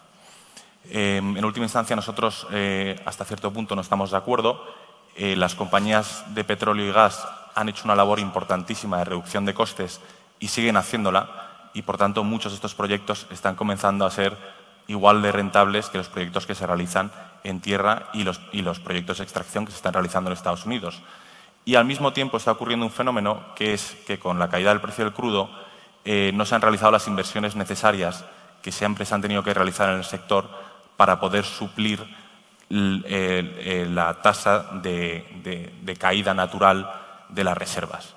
Con lo cual, eh, llegado un punto, es lo más razonable que ocurriese esto, aunque en el futuro es muy difícil predecirlo, pero bueno, llegado un punto, si no se han hecho las inversiones necesarias eh, y la demanda sigue creciendo, va a llegar un momento en que con la tasa de caída natural de las reservas, sin haber hecho las, inversiones necesarias para cubrir esa tasa de caída, la demanda va a superar a la oferta.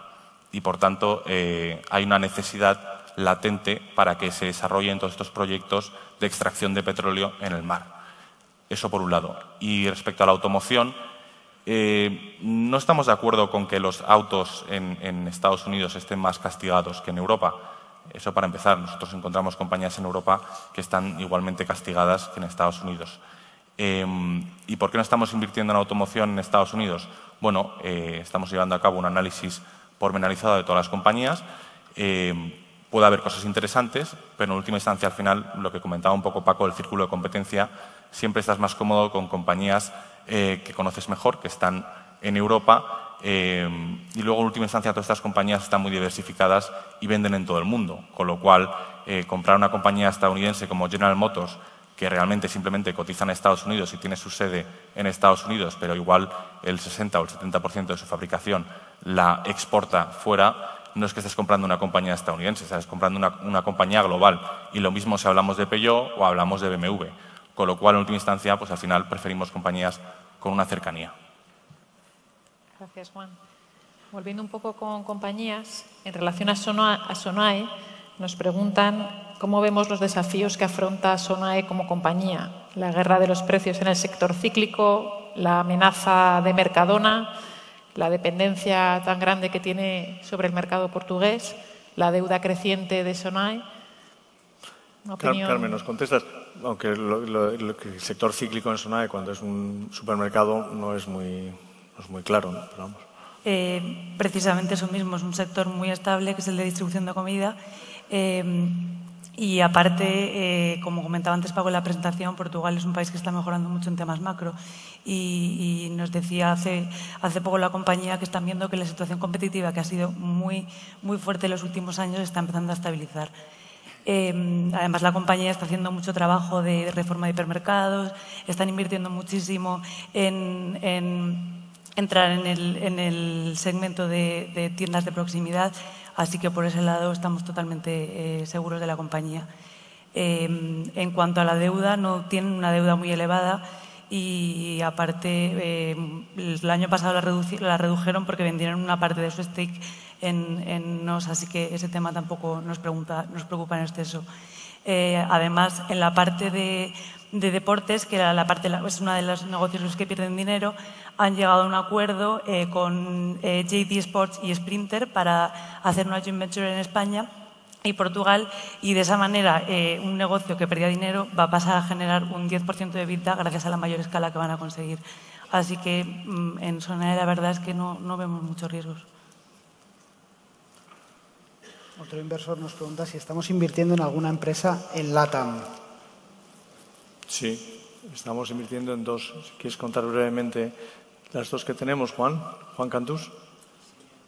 En LATAM tenemos una empresa de, agrícola, eh, terrenos agrícolas. Eh, es raro encontrar una rentabilidad tan buena en un negocio agrícola. Es decir, el negocio agrícola suele ser malo eh, por una razón muy sencilla. hay muchos propietarios de tierra que realmente o la han heredado o no tienen una cultura de capital por lo tanto no tiene una cultura de exigirle rendimientos al capital. Entonces, eh, de normal, pues podrías esperar de un rendimiento agrícola un 4, un 7% como mucho. Y como mucho, o sea, suele estar más en, torno a 4 o 5, 5,5%. Eh, eh, en Brasil han pasado básicamente dos cosas. por un lado, ha habido un, muy malas cosechas, o sea, el tiempo eh, el año pasado fue, fue muy, muy malo. Eh, eso ya empezó a mejorar, el primer trimestre ha sido magnífico. Eh, por lo tanto, yo creo que poco a poco ya hemos visto parte de la rentabilidad durante este año y, la seguiremos viendo si, si, si todo sigue el, el, curso normal y si no, esperaremos, porque ahora mismo estamos comprando una rentabilidad muy, muy elevada con respecto a lo que sería normal. Y por otra parte, se ha juntado mal, mal tiempo atmosférico con eh, precios demasiado bajos, porque quitando Brasil y alguna parte de, Latinoamérica, en el resto del mundo ha sido en general muy bueno. Con lo cual te encuentras un precio de, commodities, de algodón y de, maíz, eh, mm, eh, muy bajo, porque en el resto del mundo ha estado muy bien. Y, por otro lado, malas cosechas, porque, porque en Brasil pues, pues, se lo han pasado realmente mal. Cuando eso se normalice, y para eso lo único que hay que hacer es esperar a que pase el tiempo, no hay que hacer nada más, eh, esperamos que, eh, si, eso sigue así, pues obviamente eh, el precio debería tender a subir y nosotros ya tenemos los deberes hechos. Esa es la parte que tenemos en inversión agrícola en Latam. Después tenemos una empresa de educación en Brasil. En Brasil es la empresa número uno en educación tanto en, eh, a nivel presencial como a distancia. Eh, y, digamos que lo bueno de esta compañía es que a pesar de ser el número uno, es el disruptor número uno. Es decir, que no se duermen los laureles, que siempre buscan la máxima eficiencia. Siempre. Y, digamos que no hay nada que un competidor ahora mismo, de manera previsible, pueda hacer para hacerle realmente daño. Eh, para daros una idea, tiene el 20% de, de esa educación a universidades, lo que aquí serían universidades, tiene el 20% en presencial y el 50% o casi el 50% en, eh, de cuota de mercado en, en, en, educación universitaria a distancia. Y después eh, tenemos otra parte, y es que eh, el, mercado de educación, como ustedes saben, es un, es un eh, negocio de, costes fijos. Es decir, ustedes tienen un aula y, básicamente eh, si tienen éxito consiguen llenarlas y si no, pues eh, van realmente mal. el mercado en Brasil es diferente a lo que puede pasar en, en, Europa, por ejemplo. En Europa, si hay un, hay un mal escenario económico, básicamente pues lo que hacen la gente es, vale, no puedo trabajar, voy a estudiar. En Brasil eso no pasa. En Brasil, si no, si no trabajas, no puedes pagarte los estudios. Con lo cual, eh, eh, hemos estado en un escenario macroeconómico muy malo. Gracias a eso hemos podido comprar eh, muy malo porque las aulas no se llenaban. Entonces el sector estaba en declive. tenemos información de que el sector estaría ganando alrededor de un 5%. Es, de márgenes, ese 5% es muy poco porque se financia a los estudiantes y los estudiantes eh, pues los financias a tres meses. los tipos de interés en, en, Brasil son muy altos y con un 5% pierdes dinero. Entonces tenemos a un número uno con unos márgenes del 40% versus eh, em, el, sector eh, que seguramente es una universidad o un centro que está ganando un 5. Eh, ahí vemos la fortaleza que tiene esta empresa. La estamos comprando barata, porque ya he dicho, es, es un negocio bajo. Y además tenemos un upside en el que el número uno se quiere comprar al número dos como es un negocio de costes fijos, hay una posibilidad muy fuerte de obtener sinergias. Lo que a su vez nos estaríamos comprando un negocio barato, muy bueno, estamos hablando de retornos entre el 30 y el 40% de capital, es decir, que por cada euro que se invierte eh, yo gano 30 40 céntimos eh, al año y, y por otra parte, con un upside adicional que no estamos teniendo en cuenta, si no sería mucha mejor inversión, de, que realmente el número uno se está comprando con un 20% de cuota y 50% en, en se está comprando el número dos, que es alrededor de un 10%. Em, no quiero enrollar demasiado, pero, pero básicamente es, extraordinario.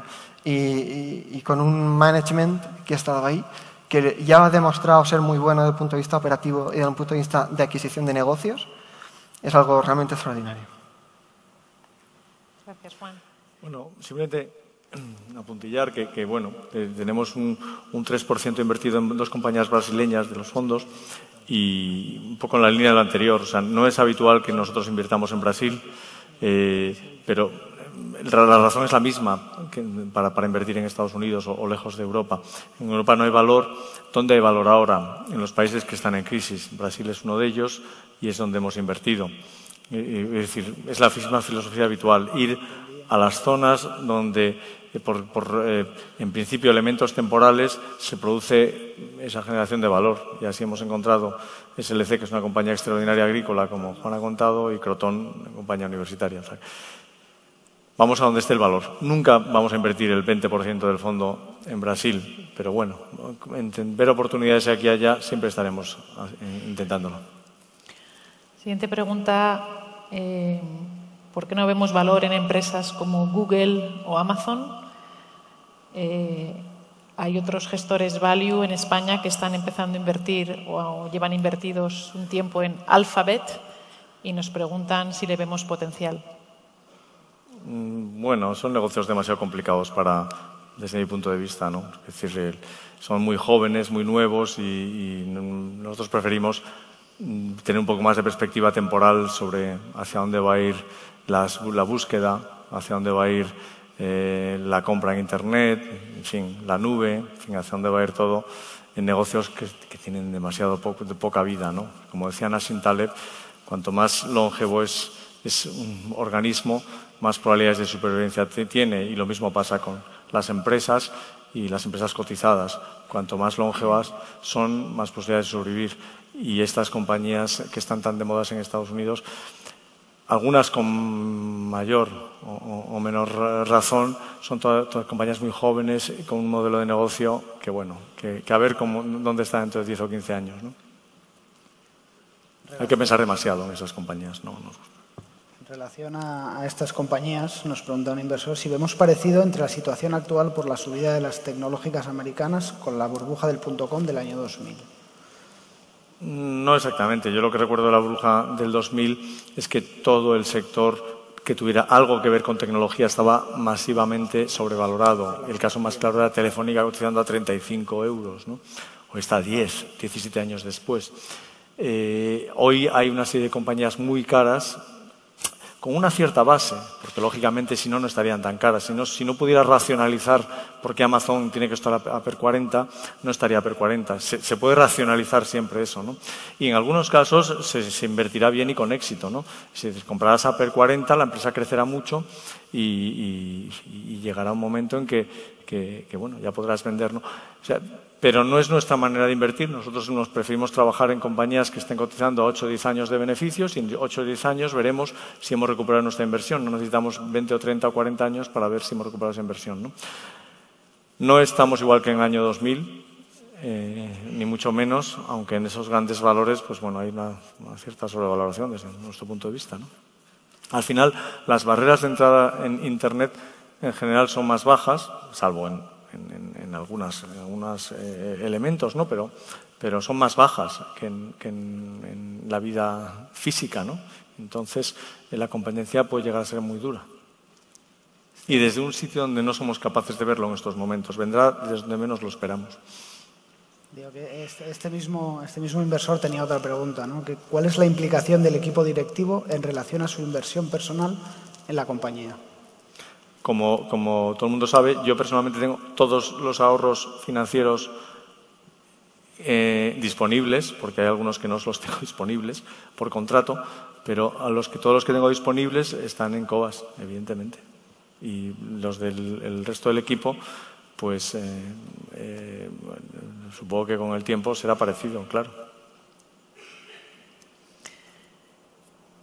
Pregunta relacionada con una posible subida de tipos de interés y la sensibilidad de la cartera a esta previsible subida de tipos de interés por el nivel de endeudamiento que tienen algunas de nuestras principales posiciones de la cartera internacional. Bueno, TK, que es la compañía más endeudada, eh, tiene un impacto muy limitado a la subida de, tipos porque tiene swaps de tipos de interés, con lo cual el tipo lo tiene fijo al 5%. O sea, gran parte de la de la financiación de los barcos los tiene fijos al 5%. Es la compañía más endeudada. Y es en la que sí que hay que esperar un poco más a que empiece a generar cash flows importantes dentro de dos o tres años. Eh, es la única situación. En el resto el impacto es pequeño porque mm, estamos hablando de Arista y, y, poco más como compañías endeudadas. O sea que el impacto es limitado de subidas de tipos de interés. Otro inversor nos pregunta que, qué opinamos del sector farmacéutico y por qué no tenemos ninguna empresa farmacéutica en cartera. No es correcto. Si queréis hablar, en el fondo de grandes compañías sí tenemos eh, tres o cuatro farmacéuticas americanas, todas ellas cotizando eh, por debajo de PER 10. Eh, si quieres hablar, bueno, Vicente, tú que estás un poco especializado en ellas, europeas no tenemos ninguna, pero sí en grandes compañías tenemos algunas americanas. Sí, no, básicamente eh, las, europeas, pues en general, eh, están a unos múltiplos muy altos y pues enlazo un poco con lo que comentábamos antes, tratar de buscar compañías en otros sitios donde ofrezcan un margen de seguridad mayor. Entonces te puedes encontrar compañías pues de genéricos cotizando a PER siete veces o alguna compañía con medicamentos pues para la hepatitis C o para el SIDA, pues en niveles pues también muy, muy, muy atractivos. Con lo cual pensamos que el margen de seguridad que pueden ofrecer este tipo de compañías cotizando a estos múltiplos es mayor que lo que puede haber en oportunidades pues más cercanas. Y por tanto, pues eh, tenemos una pequeña posición en, en esas compañías. Nos piden si podemos, aunque es complicado porque el tiempo abrevia, pero un comentario en general sobre las empresas chinas y japonesas que tenemos en cartera. Eh, podríamos decirle a mí que nos hablara un poco de ellas, lo que pasa es que tenemos que hacer traducción simultánea.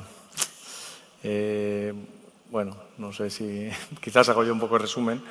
Eh, la verdad es que es un conjunto de compañías bastante interesante. Todas ellas tienen caja neta excepto una, que tiene una deuda pequeña, pues muy, muy pequeña, y todas tienen caja neta. Alguna de ellas tiene tanta caja, eh, una compañía japonesa, tanta caja como vale la compañía en bolsa, eh, con buenos negocios.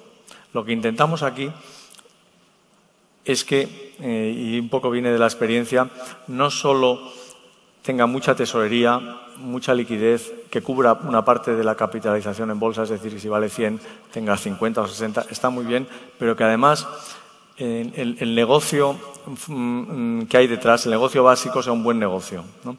Eh, a diferencia de historias pasadas en las que a lo mejor tenían mucha caja, pero el negocio fundamental era malo y entonces la caja se acababa tirando en el negocio malo. Entonces estamos hablando todas eh, de compañías con digamos, ventajas competitivas muy importantes en sus segmentos, tanto las coreanas como las japonesas, eh, como la compañía de Hong Kong pequeña que tenemos, una posición muy pequeña. Eh, todas ellas tienen unas ventajas competitivas importantes y una tesorería significativa. Y, es evidente que, para algunas de ellas han sido idea de Minkun, otras han sido de, otra gente del equipo, pero la realidad es que si Minkun no estuviera ahora en Shanghai, eh, pues, pues sería muy difícil tener, eh, cubrir la distancia necesaria para, para poder seguirlas. ¿no? O sea que realmente tenemos la suerte de, que él está allí cubriéndolas y, haciendo un seguimiento. Él ha estado en Japón visitando a las compañías, ha estado en Corea, ha estado, en, todos, en, todos los sitios. ¿no? Si no, no nos lo podríamos plantear. Y la verdad es que el, mercado asiático es algo ineficiente porque lleva cierto retraso respecto a, en, en varios aspectos, porque el gobierno corporativo es uno de ellos, respecto a Europa y Estados Unidos y yo creo que, podemos ver eh, un avance muy interesante a lo largo de los, de los próximos años allí y, bueno, vamos a intentar aprovecharnos de eso en la medida de lo posible. ¿no? Siempre con cantidades que nunca va a poder ser lo mismo que decimos. O sea, no va a ser el 2% de Brasil, pero tampoco va a ser el 50% del fondo en principio. Será algo razonablemente equilibrado. Ahora estamos en el 18-20%. No creemos que pasemos mucho más de eso. Otro, inversor nos pregunta que qué opinamos de Acerinox, que pese a los resultados magníficos en el primer trimestre, ha bajado mucho. Y nos hace una segunda pregunta, que si depende más del níquel que de la gestión de la dirección. La gestión siempre ha sido buena, o sea que, eso no... Pero es una compañía que está en un sector de materias primas, al fin y al cabo, es de acero, buen acero, pero, pero materias primas. Entonces, realmente es, eh, depende del ciclo económico. Entonces, en Acerinox nosotros podríamos haber, vamos, de hecho tenemos el, mismo gráfico hecho que, para, que hemos presentado para el EGNOR y Dassault. Eh, hemos entrado y salido en la compañía a lo largo de los años conforme eh, el ciclo se iba desarrollando y la verdad es que en general nos ha salido bastante bien. Ahora mismo está en una situación de 11-12 veces la acción. Eh, bueno, está, digamos, en, en el miniciclo que ha tenido últimamente, está en la parte alta no descartamos comprar, pero bueno, estamos viendo las posibilidades de, que baje un poco y a, ver a qué, precio entramos. ¿no? la gestión no es un problema en decirnos porque es la mejor, la mejor gestión eh, en el sector de acero inoxidable del mundo y, bueno, es una empresa española líder de la que tenemos que estar todos orgullosos de ella. Y, En cuanto al níquel, bueno, el níquel es la materia prima, algo influye a corto plazo, pero al final lo que influye fundamentalmente es la oferta y demanda del producto final, el acero inoxidable, y cómo está la dinámica de oferta y demanda en cada momento. Más desde el punto de vista de producto, nos preguntan si tenemos algún proyecto de conformar un fondo de private equity, es decir, de inversión en empresas no cotizadas. Es casi imposible. Primero, porque encontramos cotizadas en mejores precios que en no cotizadas. O sea, cuando una private equity compra una compañía en bolsa, tiene que pagar un sobreprecio mucho más de lo que estamos pagando nosotros aquí. Eh, y bueno, tiene la ventaja de que luego controlan y gestionan la compañía, cosa que no hacemos nosotros. Bueno, nosotros invertimos en compañías razonablemente bien gestionadas, con lo cual necesitamos ese cambio de gestión. El problema de, hacer un fondo de private equity es que requiere una cantidad de trabajo ingente, con unos equipos muy fuertes, y no sabemos si eso diluiría demasiado nuestras capacidades, que son limitadas, evidentemente. Bueno, aquí hay, hay varias preguntas relacionadas con Value School. Nos preguntan básicamente qué es y, también hay varias preguntas relacionadas con universidades y tal. Nos pregunta qué nos parece que nuestra filosofía nos enseñe en las universidades y cómo puede mejorar esto. Y también si nos planteamos hacer tipo, algún tipo de seminario para familiarizarnos con los productos y términos de inversión. Y no sé si está por aquí Gonzalo, que nos cuente lo que es Value School, y si no lo cuento yo. Gonzalo Requejo. Bueno. Bueno, yo creo que, lo, hemos intentado, lo he intentado explicar antes, pues lo, vuelvo a repetir. Lo que intentamos es compartir el conocimiento que tenemos nosotros. Nosotros no tenemos ningún problema en ser transparentes, por lo menos en, cómo hacemos las cosas. O sea, con los valores hay que tener cuidado, ¿no? Obviamente porque, bueno, tampoco hay que dar todo, todo, toda la información que conocemos de todos los valores, ¿no? pero sí en cuanto a filosofías, en cuanto a cómo aproximarse a la inversión. ¿no? Y eso es lo que queremos compartir. Lo se puede hacer de muchas maneras, eh, eh, eh, con cursos, con, clases de formación, con ediciones de libros que, ya hemos empezado, desde el primer hecho tangible, o sea, con todo aquello que, podamos hacer con, con, la gente que va a estar involucrada en ello. Nosotros ayudaremos en la medida de lo posible. Tampoco es, cuestión de diluir nuestro tiempo en la actividad principal, que es encontrar activos infravalorados eh, para los clientes, pero ayudar en, la medida de lo posible, porque creo que es una buena labor para todos. en fin, es intentar compartir el conocimiento que tenemos eh, en la medida de lo posible con todos aquellos que se acercan a nosotros. Como todo el mundo sabe, no, hacemos publicidad, no hacemos propaganda, no hacemos marketing, pero sí queremos tratar a todos aquellos que se acercan a nosotros de la mejor manera posible. Es decir, que para que, tomen las decisiones más razonadas posibles. Y si esa decisión supone que se tienen que ir de cobas, pues, pues fenomenal, o sea, no hay ningún problema. Nunca hemos sido presionado a nadie para que se queden y para tal. O sea, que poner las cartas sobre la mesa y que el, cliente tome la decisión que tiene que tomar en, cada momento respecto a sus ahorros. Es un poco el objetivo final de, de Value School. No sé si había más partes en la pregunta. Bueno, era una mezcla de tres o cuatro preguntas que preguntaban lo mismo. ¿no? Pues, estaba la otra pregunta que era la parte de, enseñanza en las universidades, el value investing, que por qué nos enseñan en las universidades. Bueno, es verdad, nos enseñan incluso en los MBAs, de, digamos, más conocidos, o sea que realmente es, es curioso, ¿no? Y, no, no, sé, no sabemos por qué es, ¿no? Nosotros, bueno, cabe posibilidades de hacer eh, acuerdos con universidades y con, centros educativos que, ayuden a fomentar, o sea, más que value investing, porque al final value investing es invertir con sensatez, es hacerlo sensato con los ahorros, ¿no? Bueno, y desde luego aquellos jóvenes o aquellas personas que se quieran dedicar profesionalmente a invertir correctamente, pues ayudarles también en la medida de lo posible, ¿no? Que está en la línea también que hemos hablado de, de, fomentar, colaborar con otros gestores y con gente que a lo mejor está empezando, ¿no? Eso es otra, es otra posibilidad de cosas que podemos hacer. Dos preguntas sobre opinión general en, sectores. Por un lado nos preguntan si nos vemos invirtiendo en el sector agrícola europeo en los próximos años y también quieren conocer nuestra impresión acerca del sector asegurador a nivel global. Bueno, el sector agrícola, la inversión que hemos tenido en la compañía eh, brasileña es accidental. La verdad es que invertir en Brasil en una compañía que produce grano, en uno de los países más eficientes en la producción de grano por el clima y por la situación geográfica, ha sido una decisión muy clara para nosotros. Invertir en Europa es, una decisión que en el sector agrícola, perdón, creo que no vamos a invertir nunca aunque nunca digas nunca jamás, pero, pero es muy complicado.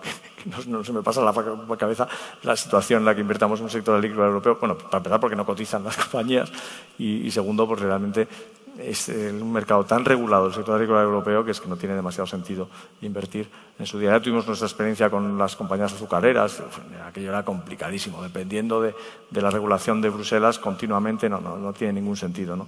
La ventaja de la compañía agrícola que tenemos es que es un mercado libre, o sea, es decir, es el productor más eficiente en un país, eh, bueno, uno de los productores más eficientes en un país donde el grano se produce de manera hipereficiente y encima estamos comprando la hectárea a, la décima parte de lo que es la hectárea en, Iowa, en, que es el, granero americano, ¿no? Pues bueno, pues eso tiene sentido de ser accionistas. encima, además, nos da otro, otra ventaja, que es, la hablábamos al principio, que es, nos, nos, indicia por si se vuelven locos los bancos centrales. Al final, pues tenemos un 2% en tierra. La tierra nunca viene mal si los bancos centrales eh, cometen locuras. ¿no? Entonces, bueno, pues tiene varios componentes esa inversión agrícola en Brasil que no se van a repetir en Europa.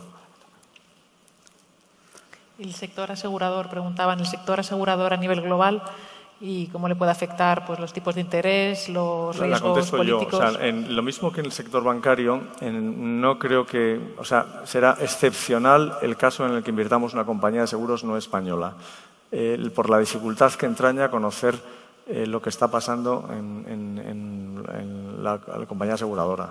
¿Qué grado de, solvencia tienen? ¿Qué grado de provisionamiento tienen? ¿Qué grado de reservas? Y, Es muy complicado estar tranquilo en una compañía aseguradora global, quizás con la excepción de Berkshire Hathaway, la de Warren Buffett y alguna otra, pero son excepciones.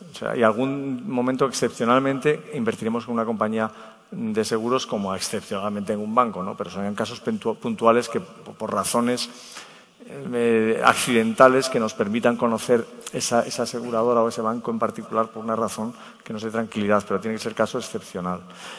El sector, pues es bueno, un sector que lo está pasando muy mal por, por, los tipos bajos, que claro, evidentemente, como todo el mundo sabe, las aseguradoras ganan dinero con la cuenta técnica, es decir, pues, pues eso, lo que le cobras al asegurado y lo que te cuesta el arreglo del coche con la cuenta técnica y luego con el dinero que te da el asegurado y que tú manejas durante un tiempo ¿no? y a la que sacas una rentabilidad. ¿no? Ahora mismo esa segunda parte es cero, porque los tipos están al cero y entonces les cuesta muchísimo ganar dinero a las aseguradoras con los tipos tan bajos. Entonces están en una situación complicada, sobre todo porque algunas de ellas, alemanas, suizas y demás, han garantizado eh, a, los, eh, a, los, tomadores de seguros de vida pues, rentabilidades del 3 y 4% que no les pueden pagar. ¿no? Entonces, bueno, como ya pasó en Japón en los años 90 y 2000. ¿no? Eh, puede que lo pasen mal, puede que no, eh, bueno, es un sector que a nosotros nos parece que eh, no está en nuestro círculo de competencia, lo, lo seguimos por, deporte, pero no es, no es santo de nuestra devoción. Nos preguntan por aquí qué, previsión tenemos del mercado inmobiliario y si tenemos algún interés COBAS en este sector. Sí, tenemos eh, interés. A mí me parece que el ciclo en España y Portugal es un ciclo razonable, que incluso en Estados Unidos, podemos decir, bueno, no tanto en precios, pero sí en volúmenes. O sea, llevamos en España, eh, bueno, seis o siete años sin construir casas llegará un momento en que hay una necesidad eh, y, habrá un incremento de volúmenes que será bueno para la actividad económica y, continuará la mejora de precios. Me parece que es un momento razonablemente bueno del ciclo para, para hacer algo en el sector inmobiliario. O sea, vender los fondos de COBAS y comprar alguna casa o algo. Puede ser. No, yo no lo haría, ¿eh? pero, pero no, realmente es un momento de los más interesantes que ha habido, ¿no?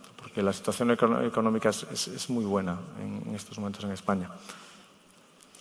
Sobre Telefónica nos preguntan precio objetivo y qué nos gusta de Telefónica pese a su nivel de deuda, pese al nivel de regulación tan grande que tiene esta compañía por los políticos y siendo una empresa que no tiene una familia detrás. Bueno, Carmen se va a defender de, Telefónica. ¿Pero objetivo? Sí, sí, puedes decirlo. 12, 13 euros. Sí, 13 euros, casi más 13 que 12. No es un potencial muy alto, como decía Paco antes, pero en España eh, no estamos encontrando cosas mucho mejores.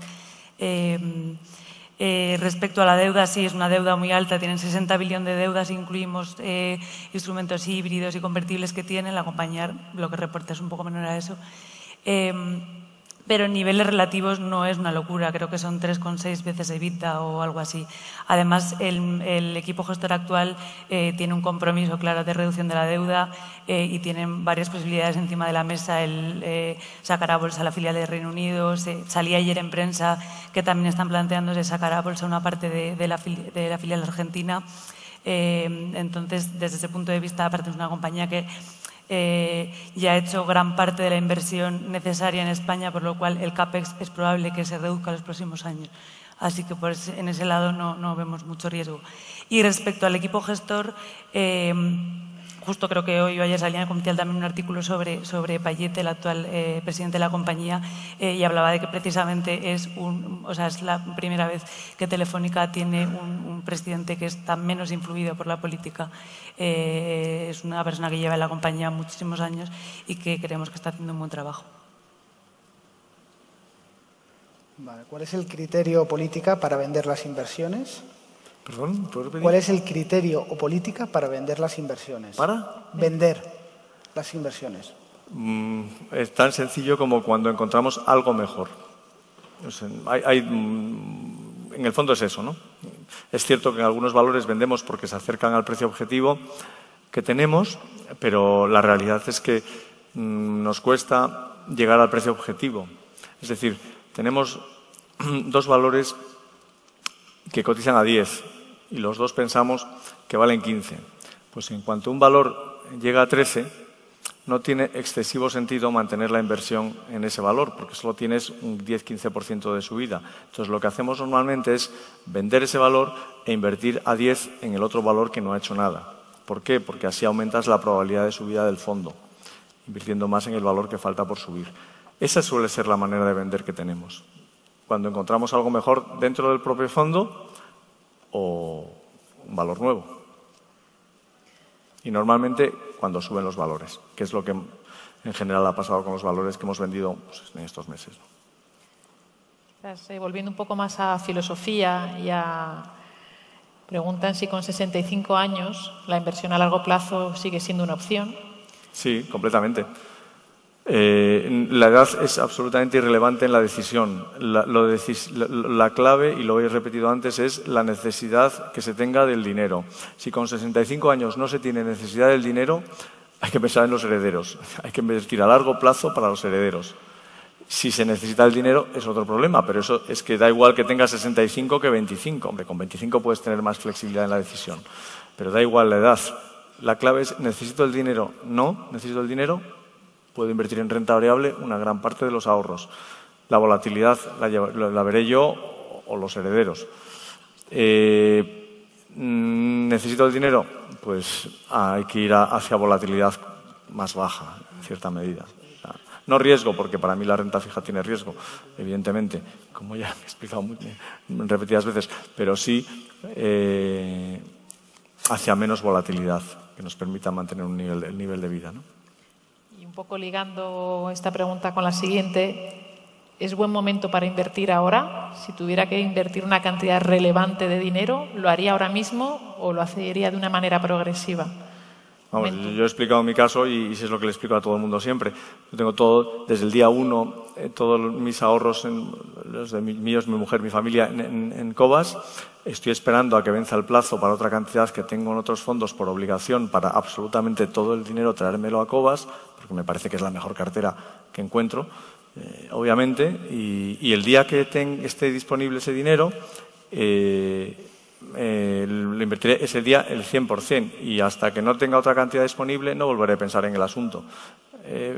yo actúo así, o sea, decir, es, evidentemente yo soy el responsable de los fondos, entonces al final decir, tienes más, más, conocimiento de lo que estás haciendo, pero al final, si estamos hablando, por ejemplo, de un fondo que tiene un 70% de potencial, que históricamente, que cuando hemos dicho que los fondos que gestionaba eh, yo y el equipo con el que trabajaba tenía un 70% de potencial, al final, al cabo de los años, subían los fondos significativamente, quiere decir que lo normal es que eh, eh, cada mes suban un poquito.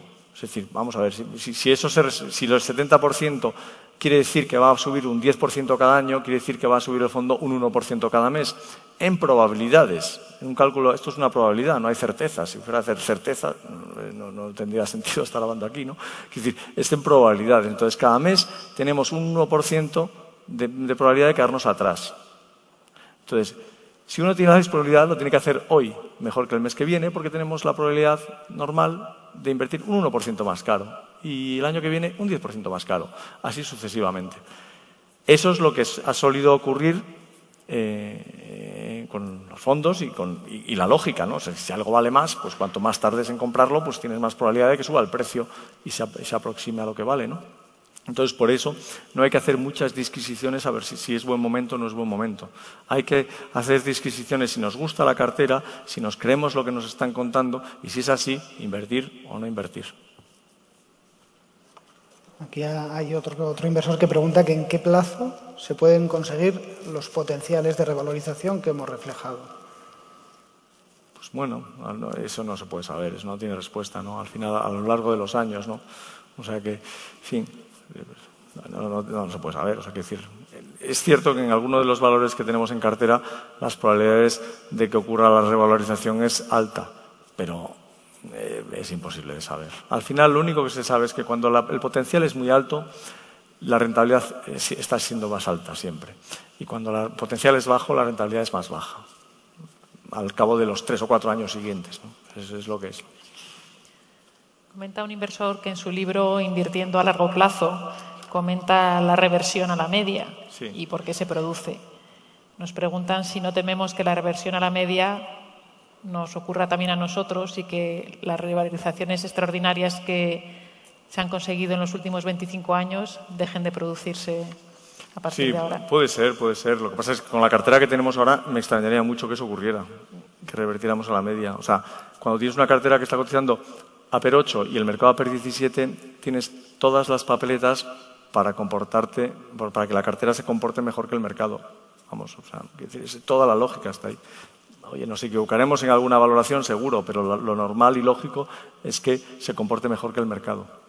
Pero bien, la certeza no existe, claro. Nos pregunta otro, otro inversor si, si podríamos comentar un poco la tesis de Israel Chemicals. ¿De qué? De Israel Chemicals. Vale, muy bien. ¿Quieres hablar de Israel? Ya que fue una idea tuya, por lo menos. Hay... Sí, hablo yo. Eh, habla hablo yo, pero Andrés. pero lo he hecho con Minkun eh, y con Paco, la verdad. O sea, sí. que, como Minkun eh, está aquí. Bueno, es básicamente Israel Chemical, que es una empresa buenísima que está en Israel y que era muy conocida para mucha gente en el mercado. ha tenido una serie de problemas que han hecho que sea tan barata. ¿no? Entonces, el primer problema es que es una empresa que hace o, extrae potasio que se vende como fertilizante para la agricultura y el precio de todos los fertilizantes pues, ha, sido, muy flojo en los últimos tres o cuatro o cinco años, eh, como otros commodities o como otras eh, materias primas. Lo que pasa es que los fertilizantes han quedado abajo, no han rebotado todavía. Entonces eso ha hecho que Israel Chemicals gane menos dinero. ¿no? Otro problema que ha tenido es que Israel Chemicals era parte de un índice, y aquí estamos hablando de un factor técnico. Muchas veces los fondos pasivos o los fondos de inversión compran compañías porque son parte de un índice. Entonces Israel Chemicals era parte del índice de emergentes, pero Israel eh, dejó de ser emergente para ser mercado normal o mundial y entonces mucha de, la, mucha la gente que invertía dejó de invertir y se quedó huérfano, nadie la seguía. Entonces es increíble que nos cuesta mucho encontrar analistas que la, que la sigan. Cuando antes había mucha gente, ahora ya no hay nadie. Entonces, una falta de entendimiento eh, eh, encima del, problema que ha tenido los fertilizantes pues ha hecho que pues, haya tenido un comportamiento bastante malo en bolsa. ¿no? Y luego el, otro, el, otro, el último problema que tuvo es que tuvieron, aunque tienen unos gestores muy buenos que han estado en la compañía durante muchísimos años, tuvieron algún cambio eh, a nivel del director, del director, general, por ejemplo, que fue bastante ambicioso en algunos eh, proyectos que no le salieron bien. Entonces, eh, pues eso empeoró un poco las cosas. ¿no? Entonces nos encontramos en la situación actual, con una compañía en la que la mitad del negocio es potasio, que se considera de materias primas cuando el ciclo está bajo. Pero tenemos un balance muy sólido que paga dividendo en la parte baja del ciclo, pues un 5 o un 6%, o sea que podemos esperar a que todo mejore y no estamos en peligro de que el, balance eh, sea un problema. Ah, pero es que además la, otra mitad del negocio no son materias primas, son, en realidad son productos muy, eh, de, gran valor añadido. Eh, por ejemplo, hacen retardantes contra incendios, hacen eh, aditivos para comida. Todos estos son productos basados en eh, dos, materias primas que también tienen ellos. y todo esto son, por cierto, activos en, el Mar Muerto, donde tienen una concesión en los próximos 30 años y son activos de, de, una calidad increíble, muy baratos de explotar. Básicamente van con una excavadora y sacas el mineral y te lo llevas. O eh, vas a unas, a unas piscinas de evaporación donde el agua se evapora porque es un desierto y coges la sal. O sea, es baratísimo. Son los, los fabricantes eh, o los mineros más baratos del mundo. ¿no? Eh, entonces tenemos la mitad del negocio materias primas, que la gente se ha olvidado de él, la otra mitad del negocio no materias primas, de gran valor añadido, que debería estar a un, múltiplo muy superior. Entonces tenemos una compañía en la que el management se ha, se ha reconfigurado, esperamos a que el ciclo mejore y mientras tanto no paran de añadir valor eh, y extender en esa, en esa, cadena de valor de no materias, de, no materias eh, primas commodity. ¿no? Entonces tenemos eh, un, nivel de beneficios como de 550 millones de dólares ahora, que pensamos que sin que pase nada extraordinario probablemente sea un mil millones o 1.300 millones en los próximos tres o cuatro años. Y mientras esperamos, nos pagan un dividendo del 6%, porque el balance lo permite y bueno, pues es una, una compañía súper sólida, sin, sin, ningún tipo de, de sorpresa porque al final la demanda del fertilizante es una demanda de agricultura, va a ocurrir, y la demanda de los otros productos también va a ocurrir porque son, eh, productos que caducan, etc. O sea, es, una, historia súper sólida que está huérfana y por eso hemos podido encontrarla. O sea, que estamos eh, muy contentos con ella, la verdad. Pues simplemente apostillar que está tan huérfana que yo, he tenido la suerte de estar hace 15 días en, en Israel en un día del inversor que han hecho y estuvimos en el desierto del Negev viendo las operaciones de fosfato y en el Mar Muerto viendo las, plantas de desalinización que tienen, con la concesión que tienen en su parte, porque en Jordania hay otras plantas, y ha sido un viaje extraordinario donde se ven los activos que tienen, eh, que, son, son únicos, en algunos casos son únicos en el mundo para algunas materias primas, y éramos eh, cinco personas en el día del inversor. Eran, éramos eran tres analistas y alguno de ellos no estaba muy familiarizado con la compañía, o sea, había uno o dos analistas que conocían bien la compañía y, dos inversores. Eh, uno de ellos de First Eagle, accionista de la compañía, ya María Bellar, para los, famosos, los que conocen a, Value Investors conocidos famosos, María Bellar es una referencia para todos nosotros, y, nos, y, yo. O sea, éramos cinco personas en una compañía de 5.000 millones de capitalización, eh, que cotizan en Estados Unidos con ADRs y, con un interés eh, prácticamente nulo. Yo recuerdo hace 12 años, cuando éramos accionistas de CIBA y Clarian, ir a una conferencia de químicas en Londres y, meterme en Israel Chemicals. No, no, y, no, no, esta es una compañía fantástica con unos activos estupendos en el Mar Muerto, tal, no sé cuánto. O sea, lo mismo que ahora, la acción en aquel momento cotizaba a 20 dólares Hoy cotiza 4,5 y el negocio es bastante mejor ahora del que era hace 12 eh, años, porque ahora está mucho más especializado, como antes ha contado, en química especializada y no tanto en las materias primas. Y, por lo tanto pensamos que va a tener una recuperación el precio en los próximos años eh, muy significativa. Una compañía que está absolutamente olvidada por el mercado. Nos preguntan también eh, qué posibilidad hay de que Cobas invierta en, compañías globales de ingeniería e investigación como Altran o Everis. ¿Altran no? Altran y Everis. Everis, pero Everis no cotiza, que yo sepa. Everis es la española que no cotiza, ¿no? Bueno, eh, bueno, hemos invertido eh, históricamente en ese tipo de compañías. En Cobas podemos volver a invertir, eh, sin ninguna duda. Las compañías de ingeniería, bueno, de hecho, en alguna ingeniería petrolera eh, sí que hemos invertido y estamos invertidos en técnicas reunidas, por ejemplo, ¿no? Eh, sin ir más lejos.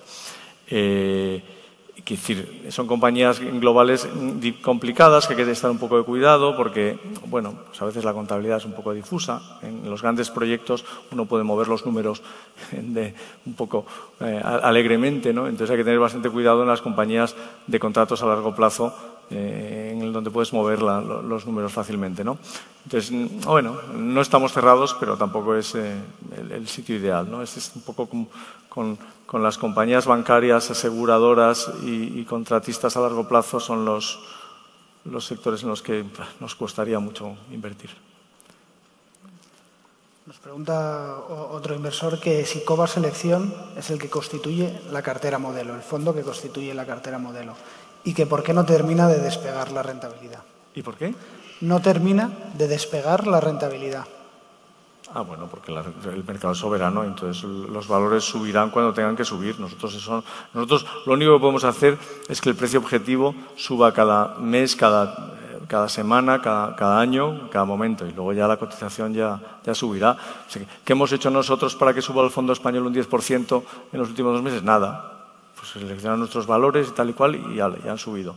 ¿Qué hemos hecho para que el Fondo Internacional que ha salido a la vez que el Fondo Español no suba? Nada. O sea, decir, ya subirá. O sea, no, eso no, es, no es problema. La primera pregunta era... Que si el COBA Selección constituye nuestra cartera modelo. Sí, es nuestra cartera modelo. Aunque hemos hecho una pequeña diferencia respecto a lo que hacíamos antes, que es que en la parte española, ese 10%, no replicamos la cartera ibérica completamente, porque claro, sería comprar 20 o 30 valores con porcentajes muy pequeños y entonces lo que hacemos es una selección de valores de la cartera ibérica. ¿no? Y ahora mismo en Cova Selección están pues, el EGNOR, Vocento, NOS, algunas de las compañías en la cartera ibérica, las más importantes, pero no las más pequeñas del fondo ibérico. Pero es la cartera modelo, sí. Me voy a aprovechar este momento para aclarar la diferencia entre Cobas Selección y Cobas Internacional, porque han llegado varias preguntas preguntándonos por la diferencia, aunque yo creo que se ha explicado pues simplemente decir que el Fondo COVAS Internacional no tiene exposición a compañías ibéricas y el Fondo COVAS Selección tiene exposición en un 10%, un 9%, decía Paco hace un rato, a empresas eh, ibéricas. Pero la diferencia es esa, exposición o no al mercado de España y Portugal. Aunque hay que decir realmente, y, esto personalmente me acabo de dar cuenta ahora, que realmente si uno quiere estar expuesto a todos los valores que nosotros tenemos en cartera, en vez de comprar Cobas Selección, debería comprar el 90% de lo que quiere invertir con nosotros en Cobas Internacional y el 10% en Cobas Iberia. Y así estaría expuesto a todos los valores de Cobas Iberia. Bueno, es una sugerencia que se puede elegir. Seguimos, si queréis, con más de compañías. Nos preguntan sobre Deoleo. ¿Qué opinión tenemos sobre Deoleo? Deoleo no la hemos analizado. No sé si, Iván, tú has visto. Juan. Juan Cantús. Juan Cantús. La, hemos analizado, eh, tiene riesgos evidentes eh, que no nos gustan. Eh, creemos que hay mejores cosas realmente y como no lo vemos claro, no, no, hemos invertido, no hemos tomado esa decisión. Solo eso. Es un negocio que, que por lo general es malo. O sea, no, no, no hay altos retornos en capital, por lo tanto lo tienes que comprar a un descuento sobre, sobre digamos, lo que han invertido otros. Ese descuento existe, lo que pasa es que el endeudamiento es súper alto o sea, y no sabemos qué va a pasar con eso. Entonces, no lo vemos claro y no, no entramos. Otro inversor nos pregunta por Gestamp. Bueno, Gestam la, hemos analizado y, bueno, en fin, las, OPVs nos, cuenta, nos cuesta mucho acudir a, OPVs y nos gusta ver un poco, eh, en general, las compañías cómo van evolucionando a lo largo del tiempo, ¿no? Como siempre se dice en la OPV, el que vende elige el momento, el precio, el timing, lo elige todo. Tú tienes que decir sí o no. Entonces normalmente decimos que no y vamos viendo cómo evolucionan las cosas. Una pregunta para, para ti, Paco. Eh, ¿Qué recomendación le darías a alguien que está empezando su carrera profesional y que quiere dedicarse a la gestión de activos? Y si en esto merecería la pena asistir al máster de Value Investing de OMA. Sí, hacer todo lo posible eh, eh, está bien. O sea, que decir que, que lo mejor para, para, invertir es empezar a invertir esta noche. ¿no? Es decir, decir, oye, intentar entender por qué tenemos algunas acciones nosotros en cartera, eh, intentar replicarla, intentar aprender de eso, del proceso. Y, y bueno, si, si, si conseguimos milagrosamente que alguien nos pague por hacer eso, sea un milagro, pues fenomenal. Entonces se puede ir haciendo, alguien te, va financiando y tal y cual. Yo tuve esa suerte y ese privilegio. Si no lo consigues, pues bueno, o lo haces en tu casa o, acudes a, a másteres como el de Loma, que te van eh, formando más eh, y, de una manera u otra, pues, pues te vas poco a poco formando y te vas creyendo tú que eres capaz de hacerlo, que es lo más importante, creerse uno de que es capaz de hacerlo mejor que, un índice. ¿no? Y a partir de hoy, si uno se lo cree y va probando poco a poco con una capital pequeño o con, con, con una cartera virtual en la que no necesitas dinero, pues eh, si uno se lo cree, al final acaba convenciendo a alguien seguro de que, de que se lo financia. Eh, otro inversor nos pregunta que si consideramos que las empresas cotizadas como activos reales, ¿cómo puedes pasar un activo real de valer cero, o sea, a valer cero en 24 horas? Pues normalmente porque tiene deuda, claro, obviamente. Y hace una segunda pregunta, que es ¿qué forma tenemos de evitar las exclusiones de cotización como ha pasado con Banco Popular? ¿Cómo ha pasado con qué? Con Banco Popular. Bueno, o sea, las compañías con mucha deuda eh, tienen eh, un problema de, de confianza, evidentemente, claro. Si tienes un riesgo que está claro y nosotros lo hemos sufrido varias veces. O sea, sí, efectivamente está el riesgo ahí. O sea, y, a veces no, no, no, somos conscientes de la deuda que tiene hasta que cambia el ciclo económico. ¿no? Y, por eso, pues las empresas que, por ejemplo, nosotros tenemos con deuda o tienen contratos estables a largo plazo de los que nos, de los que nos podemos fiar, caso de TK o caso de Ferrovial en su día, o las autopistas de peaje, eh, aunque luego algunas han quebrado, como hemos visto en España, pero vamos, las cotizadas no. Bueno, de hecho sí, o sea, a Ferrovial, fíjate, es un ejemplo interesante, a Ferrovial le, ha quebrado, le han quebrado eh, dos autopistas y bueno, y al final pues el, acreedor es el que se ha quedado con las autopistas, que son las famosas radiales españolas. ¿no? O sea, que decir, nosotros como accionistas de Ferrovial hemos sufrido. Afortunadamente el activo que le ha quebrado es un activo pequeño. ¿no? Entonces, ¿Qué, tipo de, inversiones tenemos nosotros con deuda? Pues o son compañías, eh, con, como os he explicado, con contratos a muy largo plazo, eh, con un riesgo muy limitado, o, compañías muy estables como Arita, ¿no? Es un negocio que es que, bueno, en fin, tiene que haber una crisis enorme para que dejemos de comer pan o, una batalla contra los hidratos de carbono monumental, ¿no? O sea, que decir que, lo normal es que haya un crecimiento razonablemente estable eh, del más 2-3%, pase lo que pase, o sea, en, cualquier entorno económico. Entonces, esa compañía admite algo de deuda, ¿no? Como la admite Nestlé o compañías de ese tipo, ¿no? O sea que no hay que, digamos, hay que tener cuidado con la deuda porque son las compañías que van a hacer, que pasan a valer cero, son esas, las que tienen deuda y, pierden crédito en el mercado. Y, si decides hacer algo con deuda, pues que sean eh, eh, cosas muy controladas, evidentemente. Por ejemplo, hemos, explicado por qué hemos estado en una filial de TK, pero no en la otra, que nos da mucho más, más, miedo y que puede haber un riesgo de, de pérdida de, del, dinero por parte del accionista. ¿no? La bolsa americana está en máximos históricos, está más alta que nunca. ¿No ve posible crash bursátil? Y en caso de producirse, cuando se produzca, ¿cómo arrastraría a las bolsas europeas? Hombre, normalmente si hay un crash en Estados Unidos, aquí habrá un crash también, lógicamente, ¿no? porque la economía americana sigue siendo la más importante. Pero yo no veo, no, no sé, no sé, decir, veo el mercado americano bastante razonable, con algunas compañías caras, otras más baratas, un, poco de todo, no lo sé. No, tengo ni idea de lo que va a hacer la bolsa. nosotros lo que sé es que tenemos unos proyectos de inversión de compañías que cotizan en Estados Unidos en los que perfectamente eh, una caída del 25% de la bolsa se produzca a la vez que una subida del 50% de las cotizaciones de nuestras compañías. Y esto no es ninguna tontería. Eso es exactamente lo que nos pasó en los fondos del año 2000 al 2003. O sea, la bolsa cayó en tres años un 40%, en España y fuera de España también, pero en España específicamente cayó un 40% la bolsa y nuestro fondo subió un 40%. ¿Qué quiere decir que nuestro fondo subió un 40%? Que nuestros proyectos de inversión eran buenos, comprados a buen precio y el mercado lo acabó reconociendo. Eso es lo que nos pasa ahora. Cuando compras a PER 8, cuando el mercado está a PER 17, puede ocurrir que el mercado, en vez de estar a PER 17, se venga a PER 13, que haya un 20%, un 25%, haya un crash. Nosotros estamos a PER 8, o sea que para ir a PER 12 o 13 todavía podemos subir un 50% en el valor de nuestras acciones. Y no voy a decir que en un escenario que nos descartemos puede ocurrir perfectamente eso. Lo normal no es eso, lo normal a estos precios es que la bolsa esté razonablemente aburrida en los próximos años y nosotros hagamos mejor que, esa bolsa aburrida. ¿no? Eso probablemente es el escenario más probable. Pero vamos, ni idea de lo que va a hacer la bolsa. nosotros nos dedicamos a otra cosa, no a la bolsa, por decirlo de alguna manera.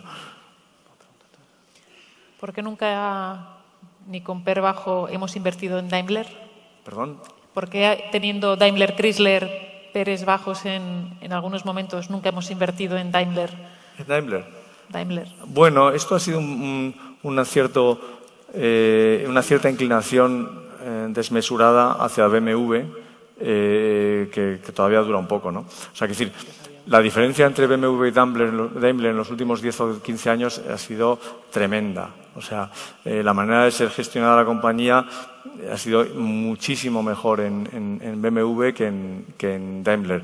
Claramente influenciada porque hay una familia, que es la familia Kwan detrás, que con una visión a largo plazo eh, también se equivocaban, se equivocaron porque compraron Rover, que fue un desastre de, compra, aunque luego se quedaron con Rolls-Royce y Mini, que les ha ido muy bien. Eh, pero con una visión a largo plazo que Daimler nunca ha tenido, con una compra desastrosa de Chrysler en Estados Unidos y, bueno, en fin, y una peor visión de producto. ¿no? Quizás en estos momentos ya no haya tanta diferencia porque ha mejorado la gestión de Daimler y es una opción y no, descartamos que en este, bueno, estamos analizando el sector con bastante intensidad y no descartamos que en un momento dado Daimler pueda ser eh, una inversión posible para nosotros. Nos pregunta otro, otro inversor que qué ha de hacer una persona por encima de la treintena para dedicarse a la gestión de activos, a pesar de haber dedicado su carrera a otra actividad. Bueno, como supongo que tendrá una familia a la que alimentar, pues la decisión es un poco complicada, ¿no? Pero, pero eh, bueno, quizás el ejemplo es, es eh, bueno, es decir, eh, ahora con, con, con, los medios tecnológicos se puede hacer prácticamente todo, ¿no? Entonces, hay un montón de, lugares donde acudir para intentar encontrar ideas, para intentar replicar esas ideas, intentar formarse. Da igual formarse con 23 que con 35 años. Al final la idea es formarse y creerse uno que lo puede hacer bien. Entonces, a partir de ahí, convencer a terceros. Y hay casos conocidos de, gente que, lo ha hecho así, o sea, que ha empezado por su cuenta y al final ha convencido a terceros y ha, tenido, ha montado un negocio viable a partir de ahí. O sea, que lo, que hay que hacer es lanzarse a la piscina, o sea, no se puede hacer otra cosa. Ahora, afortunadamente, existen los medios para hacerlo. Sí, nos hace otra segunda pregunta, que es ¿qué hace falta para trabajar en la parte de inversión en Cobas? Bueno, supongo que es alguien del back office que quiere cambiarse al... A... Bueno, hay que decir eso tenemos un equipo que es el que tenemos y, mucha gente ha acudido a nosotros a trabajar, a, querer trabajar con nosotros y no podemos, bueno, tenemos la capacidad que tenemos para absorber gente porque si no se convierte en una empresa de, de, gestión de inversiones, en una, empresa de gestión de, talento y de gente, ¿no? Y creo que debe ser una empresa de gestión de inversiones, ¿no? O sea que no se puede ser un equipo demasiado grande. Vale, y bueno, quedan algunas preguntas, pero yo creo que el grueso está contestado. Una última pregunta, Paco. ¿Te ves como Warren Buffett a los 85 años dirigiendo Cobas? Pues ya me gustaría, la verdad es que decir, eh, la idea es, que Cobas eh, pues me sobreviva a mí y sobreviva a, a, nos sobreviva a todos nosotros y haremos lo posible para que eso sea eh, pero bueno, el tiempo lo dirá, ¿no? Desde punto puedo decir. Yo, por mí, la verdad es que he estado dos años sin, sin trabajar, entre comillas, y, no sabía si me, iba, me iba a gustar o no. Tengo que decir que me han hecho ofertas perversas para no trabajar, y que no he aceptado. Y, y la verdad es que, que, bueno, yo estoy muy contento, encantado de, de poder volver y, y hacer lo que me gusta. Y bueno, sorprendentemente me sigue gustando a mi edad y, bueno, no sé si me gustaba con 85, pero, pero tiene pinta. Bueno, gracias a todos. Eh, bueno, esperemos que esto se pueda repetir muchos años y, y bueno, esperemos que responder a la confianza de todos. Gracias.